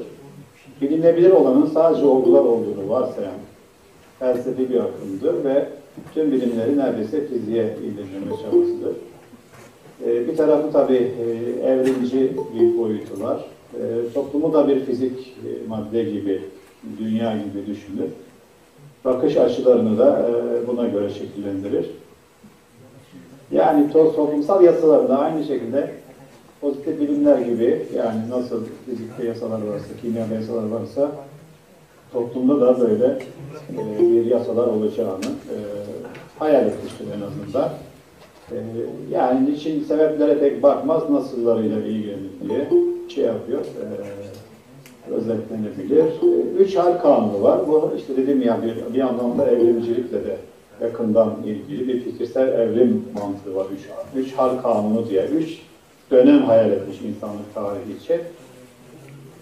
Ve bunu da insanın çocukluğu, yetişkin, yani ergenliği ve yetişkinliğine benzetmiş. Dini evre dediği, dini dönem dediği, teolojik dönem, olguların tanrısal ve manevi nedenlerle açıklandığı, dinin yani öyle geri ve e, onulmaz bir e, durum olduğunu, biraz yani biraz değil, bayağı bir geri bir e, olgu olduğunu e, yine konuşmacılarımız belirttiler zayıf insanların, basit insanların bir meselesi olduğunu e, varsayar. İlk evre budur yani geçmiş zamanlar.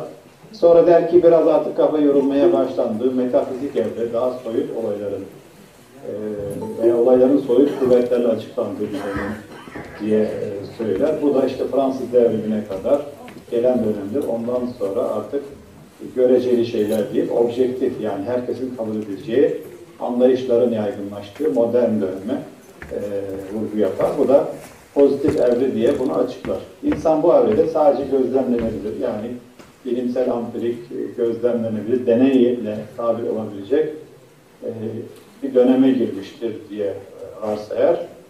Ve aynı şekilde yasalar, e, yine değişmez yasalar vesaire insan düşünür bulunabilir. İnsan düşüncesinin son evrimidir diye düşünür. Bu da bir anlamda yine e, diğer devrimci anlayışlarla e, yani batıcı anlayışlarla örtüşüyor.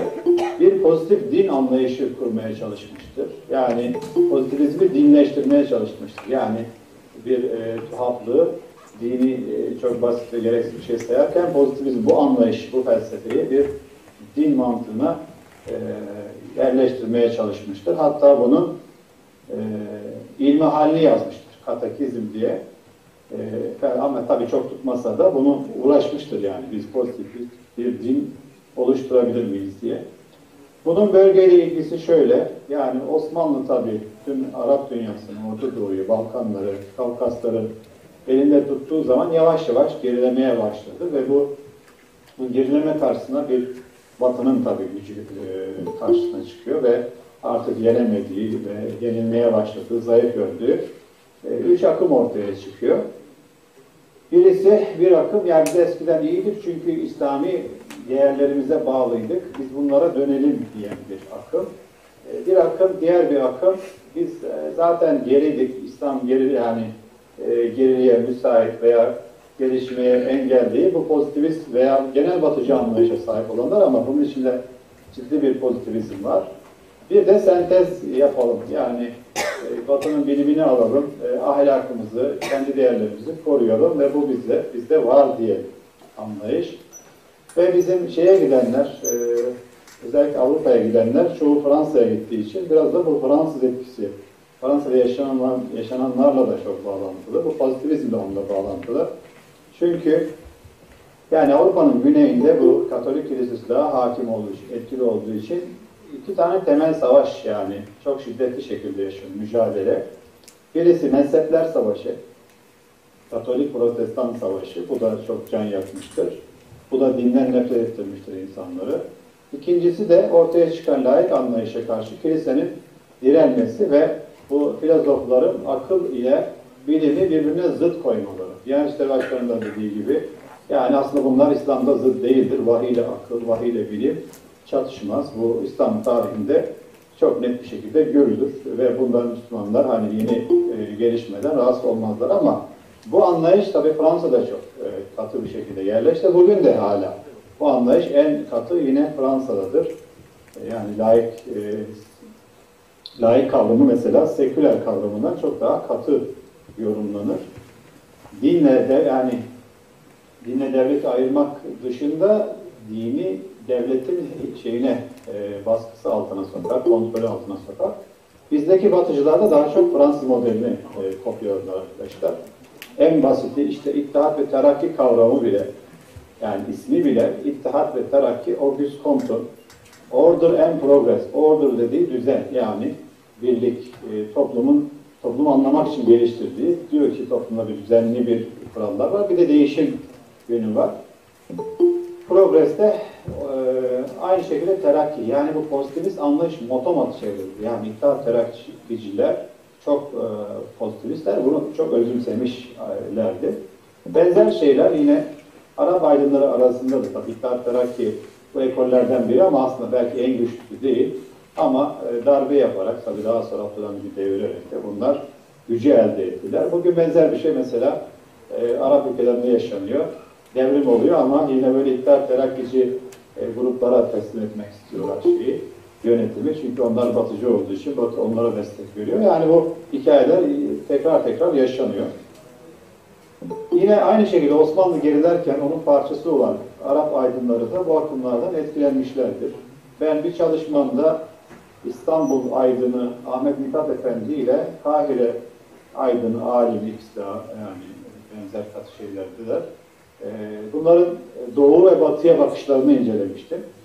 Orada şeyi buldum. Yani Ahmet Mithat Efendi'nin bir Osmanlı varisi olarak kendine çok daha fazla güvendiğini, batıyla baş edebileceğini, işte e, yani biz eksiğimiz yok, eksiğimiz yani uygulamada bunun biz yani bunun kalkınmanın, batıyla baş etmenin temellerinin kendisinde olduğunu görüyor. Tabii biraz bir hayranlık olmakla beraber bunu dışsal bir şey olarak görmüyor.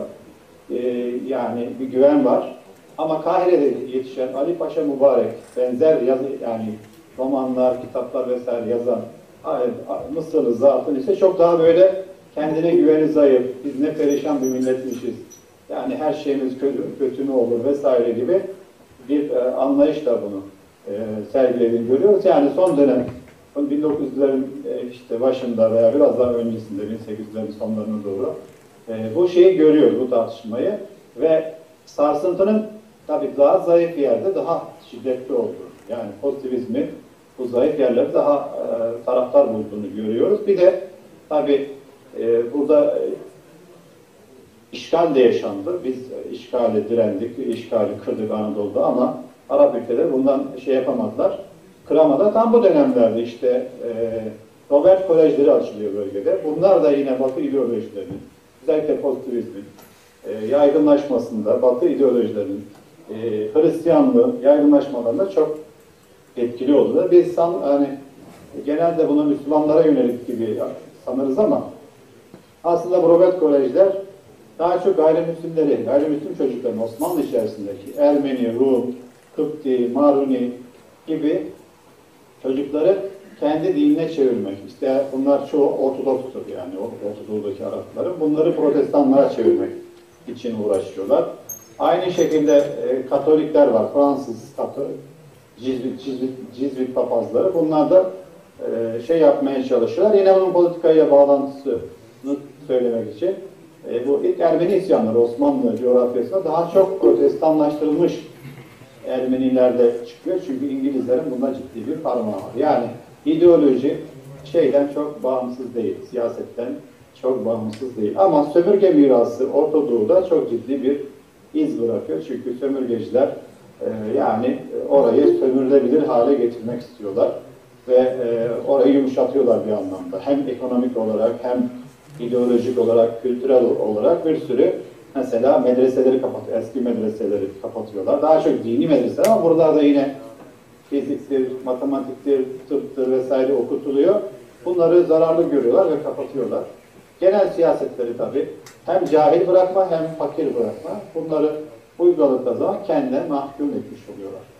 Ve e, işgalden sonra tabii Batı etkisi ve Batı ideolojileri daha fazla taraftar buluyor. Özellikle e, bu Hristiyan e, şeylerde, gruplar arasında Marksizmin, e, işte pozitivizmin çok daha fazla yayıldığını görüyoruz.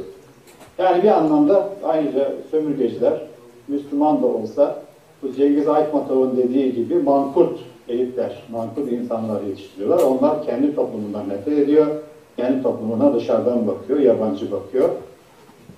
Ve bugün bile yine aynı şekilde hani bu tarih e, deyip geçmeyin, devşirilmiş ister Arap olsun, ister Türk olsun Avrupa'daki e, bazı siyasetçilerin, aydınların kraldan fazla kralcı olduğunu görüyoruz. Bu da yani bunun sonucu. Çünkü e, yani Fransız Fransa'yı eleştirse bunlar eleştirmez. Alman Almanya'yı eleştirse bunlar eleştirmezler. Çünkü devşirilmişlerdir. Bu, bu tip devşirilmiş elitler tabii daha sonra Orta Doğu'yu yönetiyorlar arkadaşlar. Ve e, daha çok laik ve evrimci düşünceleri empoze ediyorlardı bu şeyler. Çünkü İslam düşüncesi çok güçlüydü, ciddi direnç oluşturuyordu. Bundan kurtulmak gerekiyordu.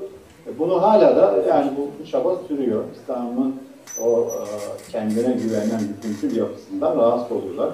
E, daha böyle kendilerine en kötü Marksist yani ister pozitivist olsun, ister evrimci mesela sosyal evrimcilik bu e, Herbert Spencer'ın falan İngiliz attığı düşünceleri yerleştiriyorlar ki demin söylediğimle bağlantılı olarak ya bu Batılılar geldi ama bizi bari kalkındırıyorlar. İşte biz de çok kötüymüşüz, çok perişanmışız. Kendimizi yönetecek durumumuz yokmuş. Hiç- Hiçbir şeyden anlamıyormuşuz. Psikolojisini yerleştirmek istiyorlar çünkü öbür türlü direnç oluyor. Üstün, bu şekilde üstünlüklerini empoze etmeye çalıştılar arkadaşlar. Ve bu, bu şekilde yetişen elitler veya e, bu tip görüşleri kabul edenler e, daha çok e, bunlara fırsat verildi, güç verildi. Veya bunlardan hani ya Batı bizi sömürüyor, e, bunlara direnmemiz gereken gerekiyor diyenler milliyetçiler veya Marksistler e, akımlar var tabi. Bunlar da yine aslında yine bu materyalist, pozitivist felsefeye çok bağlı kaldılar. Yani başa geçseler de e, bağımsızlığı sağlasalar da işte Mısır gibi, başka e, Esad gibi e, bunlar e, ülkeye e, şey yapmadılar yani faydaları dokunmadı.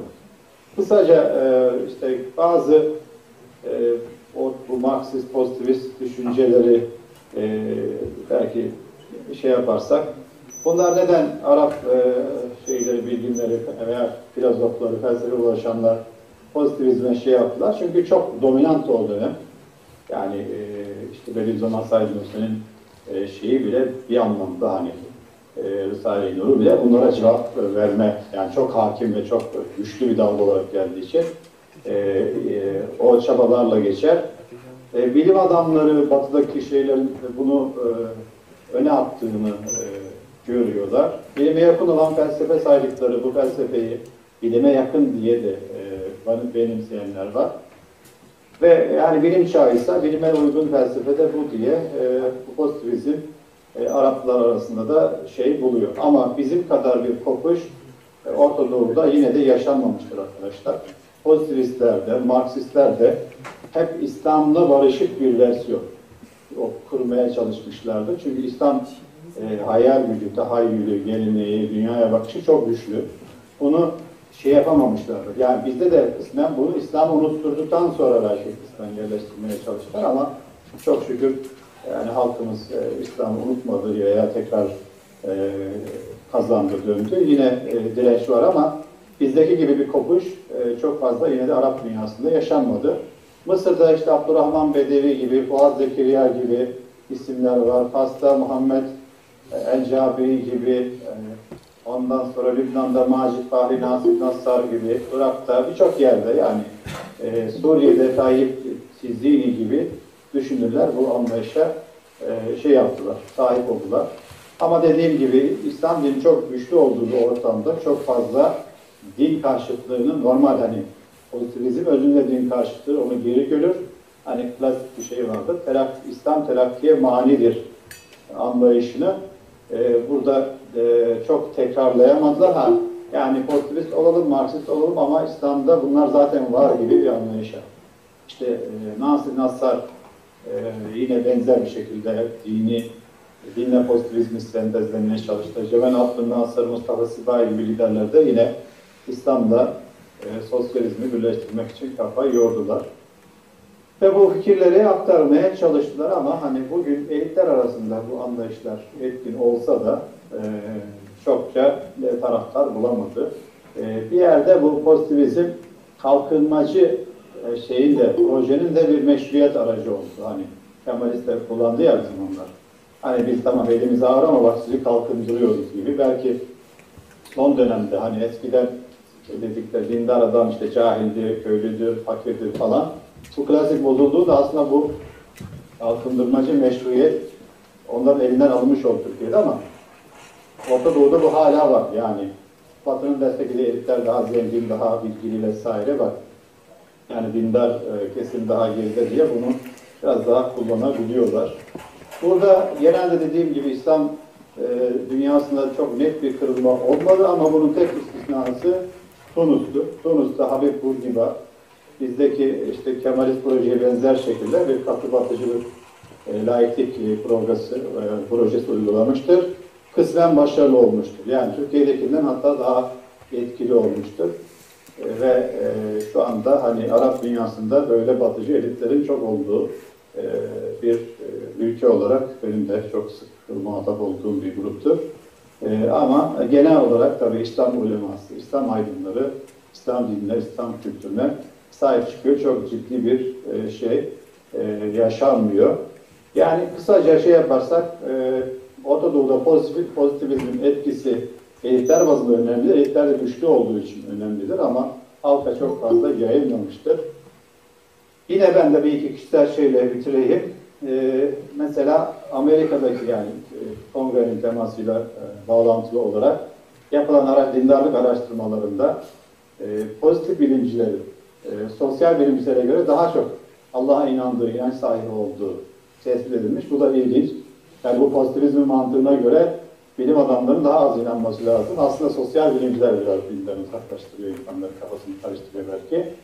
E, bu önemli. Ben de bir sosyolog olarak esas itibariyle hem e, Türkiye'de hem Amerika'da hani okumuş, e, orayı görmüş biri olarak sonra hani e, tabii Nevzat hocamdan da çok e, e, istifade ettik yani onun da sosyolojik şeylerini de biliriz psikoloji yanında. Ama e, yani sosyoloji okudu bir Müslüman olarak sosyoloji okudukça aslında bu sosyal sorunların yine kongrede değinecek şekilde e, çoğu İslam'ın eksikliğinden işte insanın irade eksikliği, Allah korkusunun eksikliği, ahlak eksikliği vesaire çok bağlantılı olduğunu e, gördüm. E, ve bu da hani aslında sosyal bilimlerin bile hani doğru okunduğunda e, İslam'la e, çok e, uyuştuğunu, insan tabiatını en iyi Kur'an ve sünnetin anlattığını ve bunları bildiğimiz zaman insanın e, yani mutlu olması için toplumun e, dengeli ve kalkınabilecek veya işte huzurlu e, bir yapıda olmasını sağlayacak ipuçları bizde var diye düşünüyorum.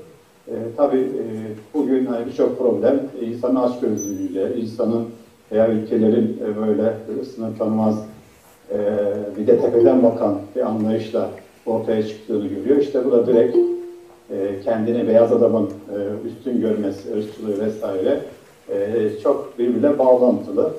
E, ben hani ben bu kadar yeterli diyeyim. E, tekrar beni sabırla dinlediğiniz için teşekkür ediyorum. İyi bir e, kongre olmasını diliyorum herhalde.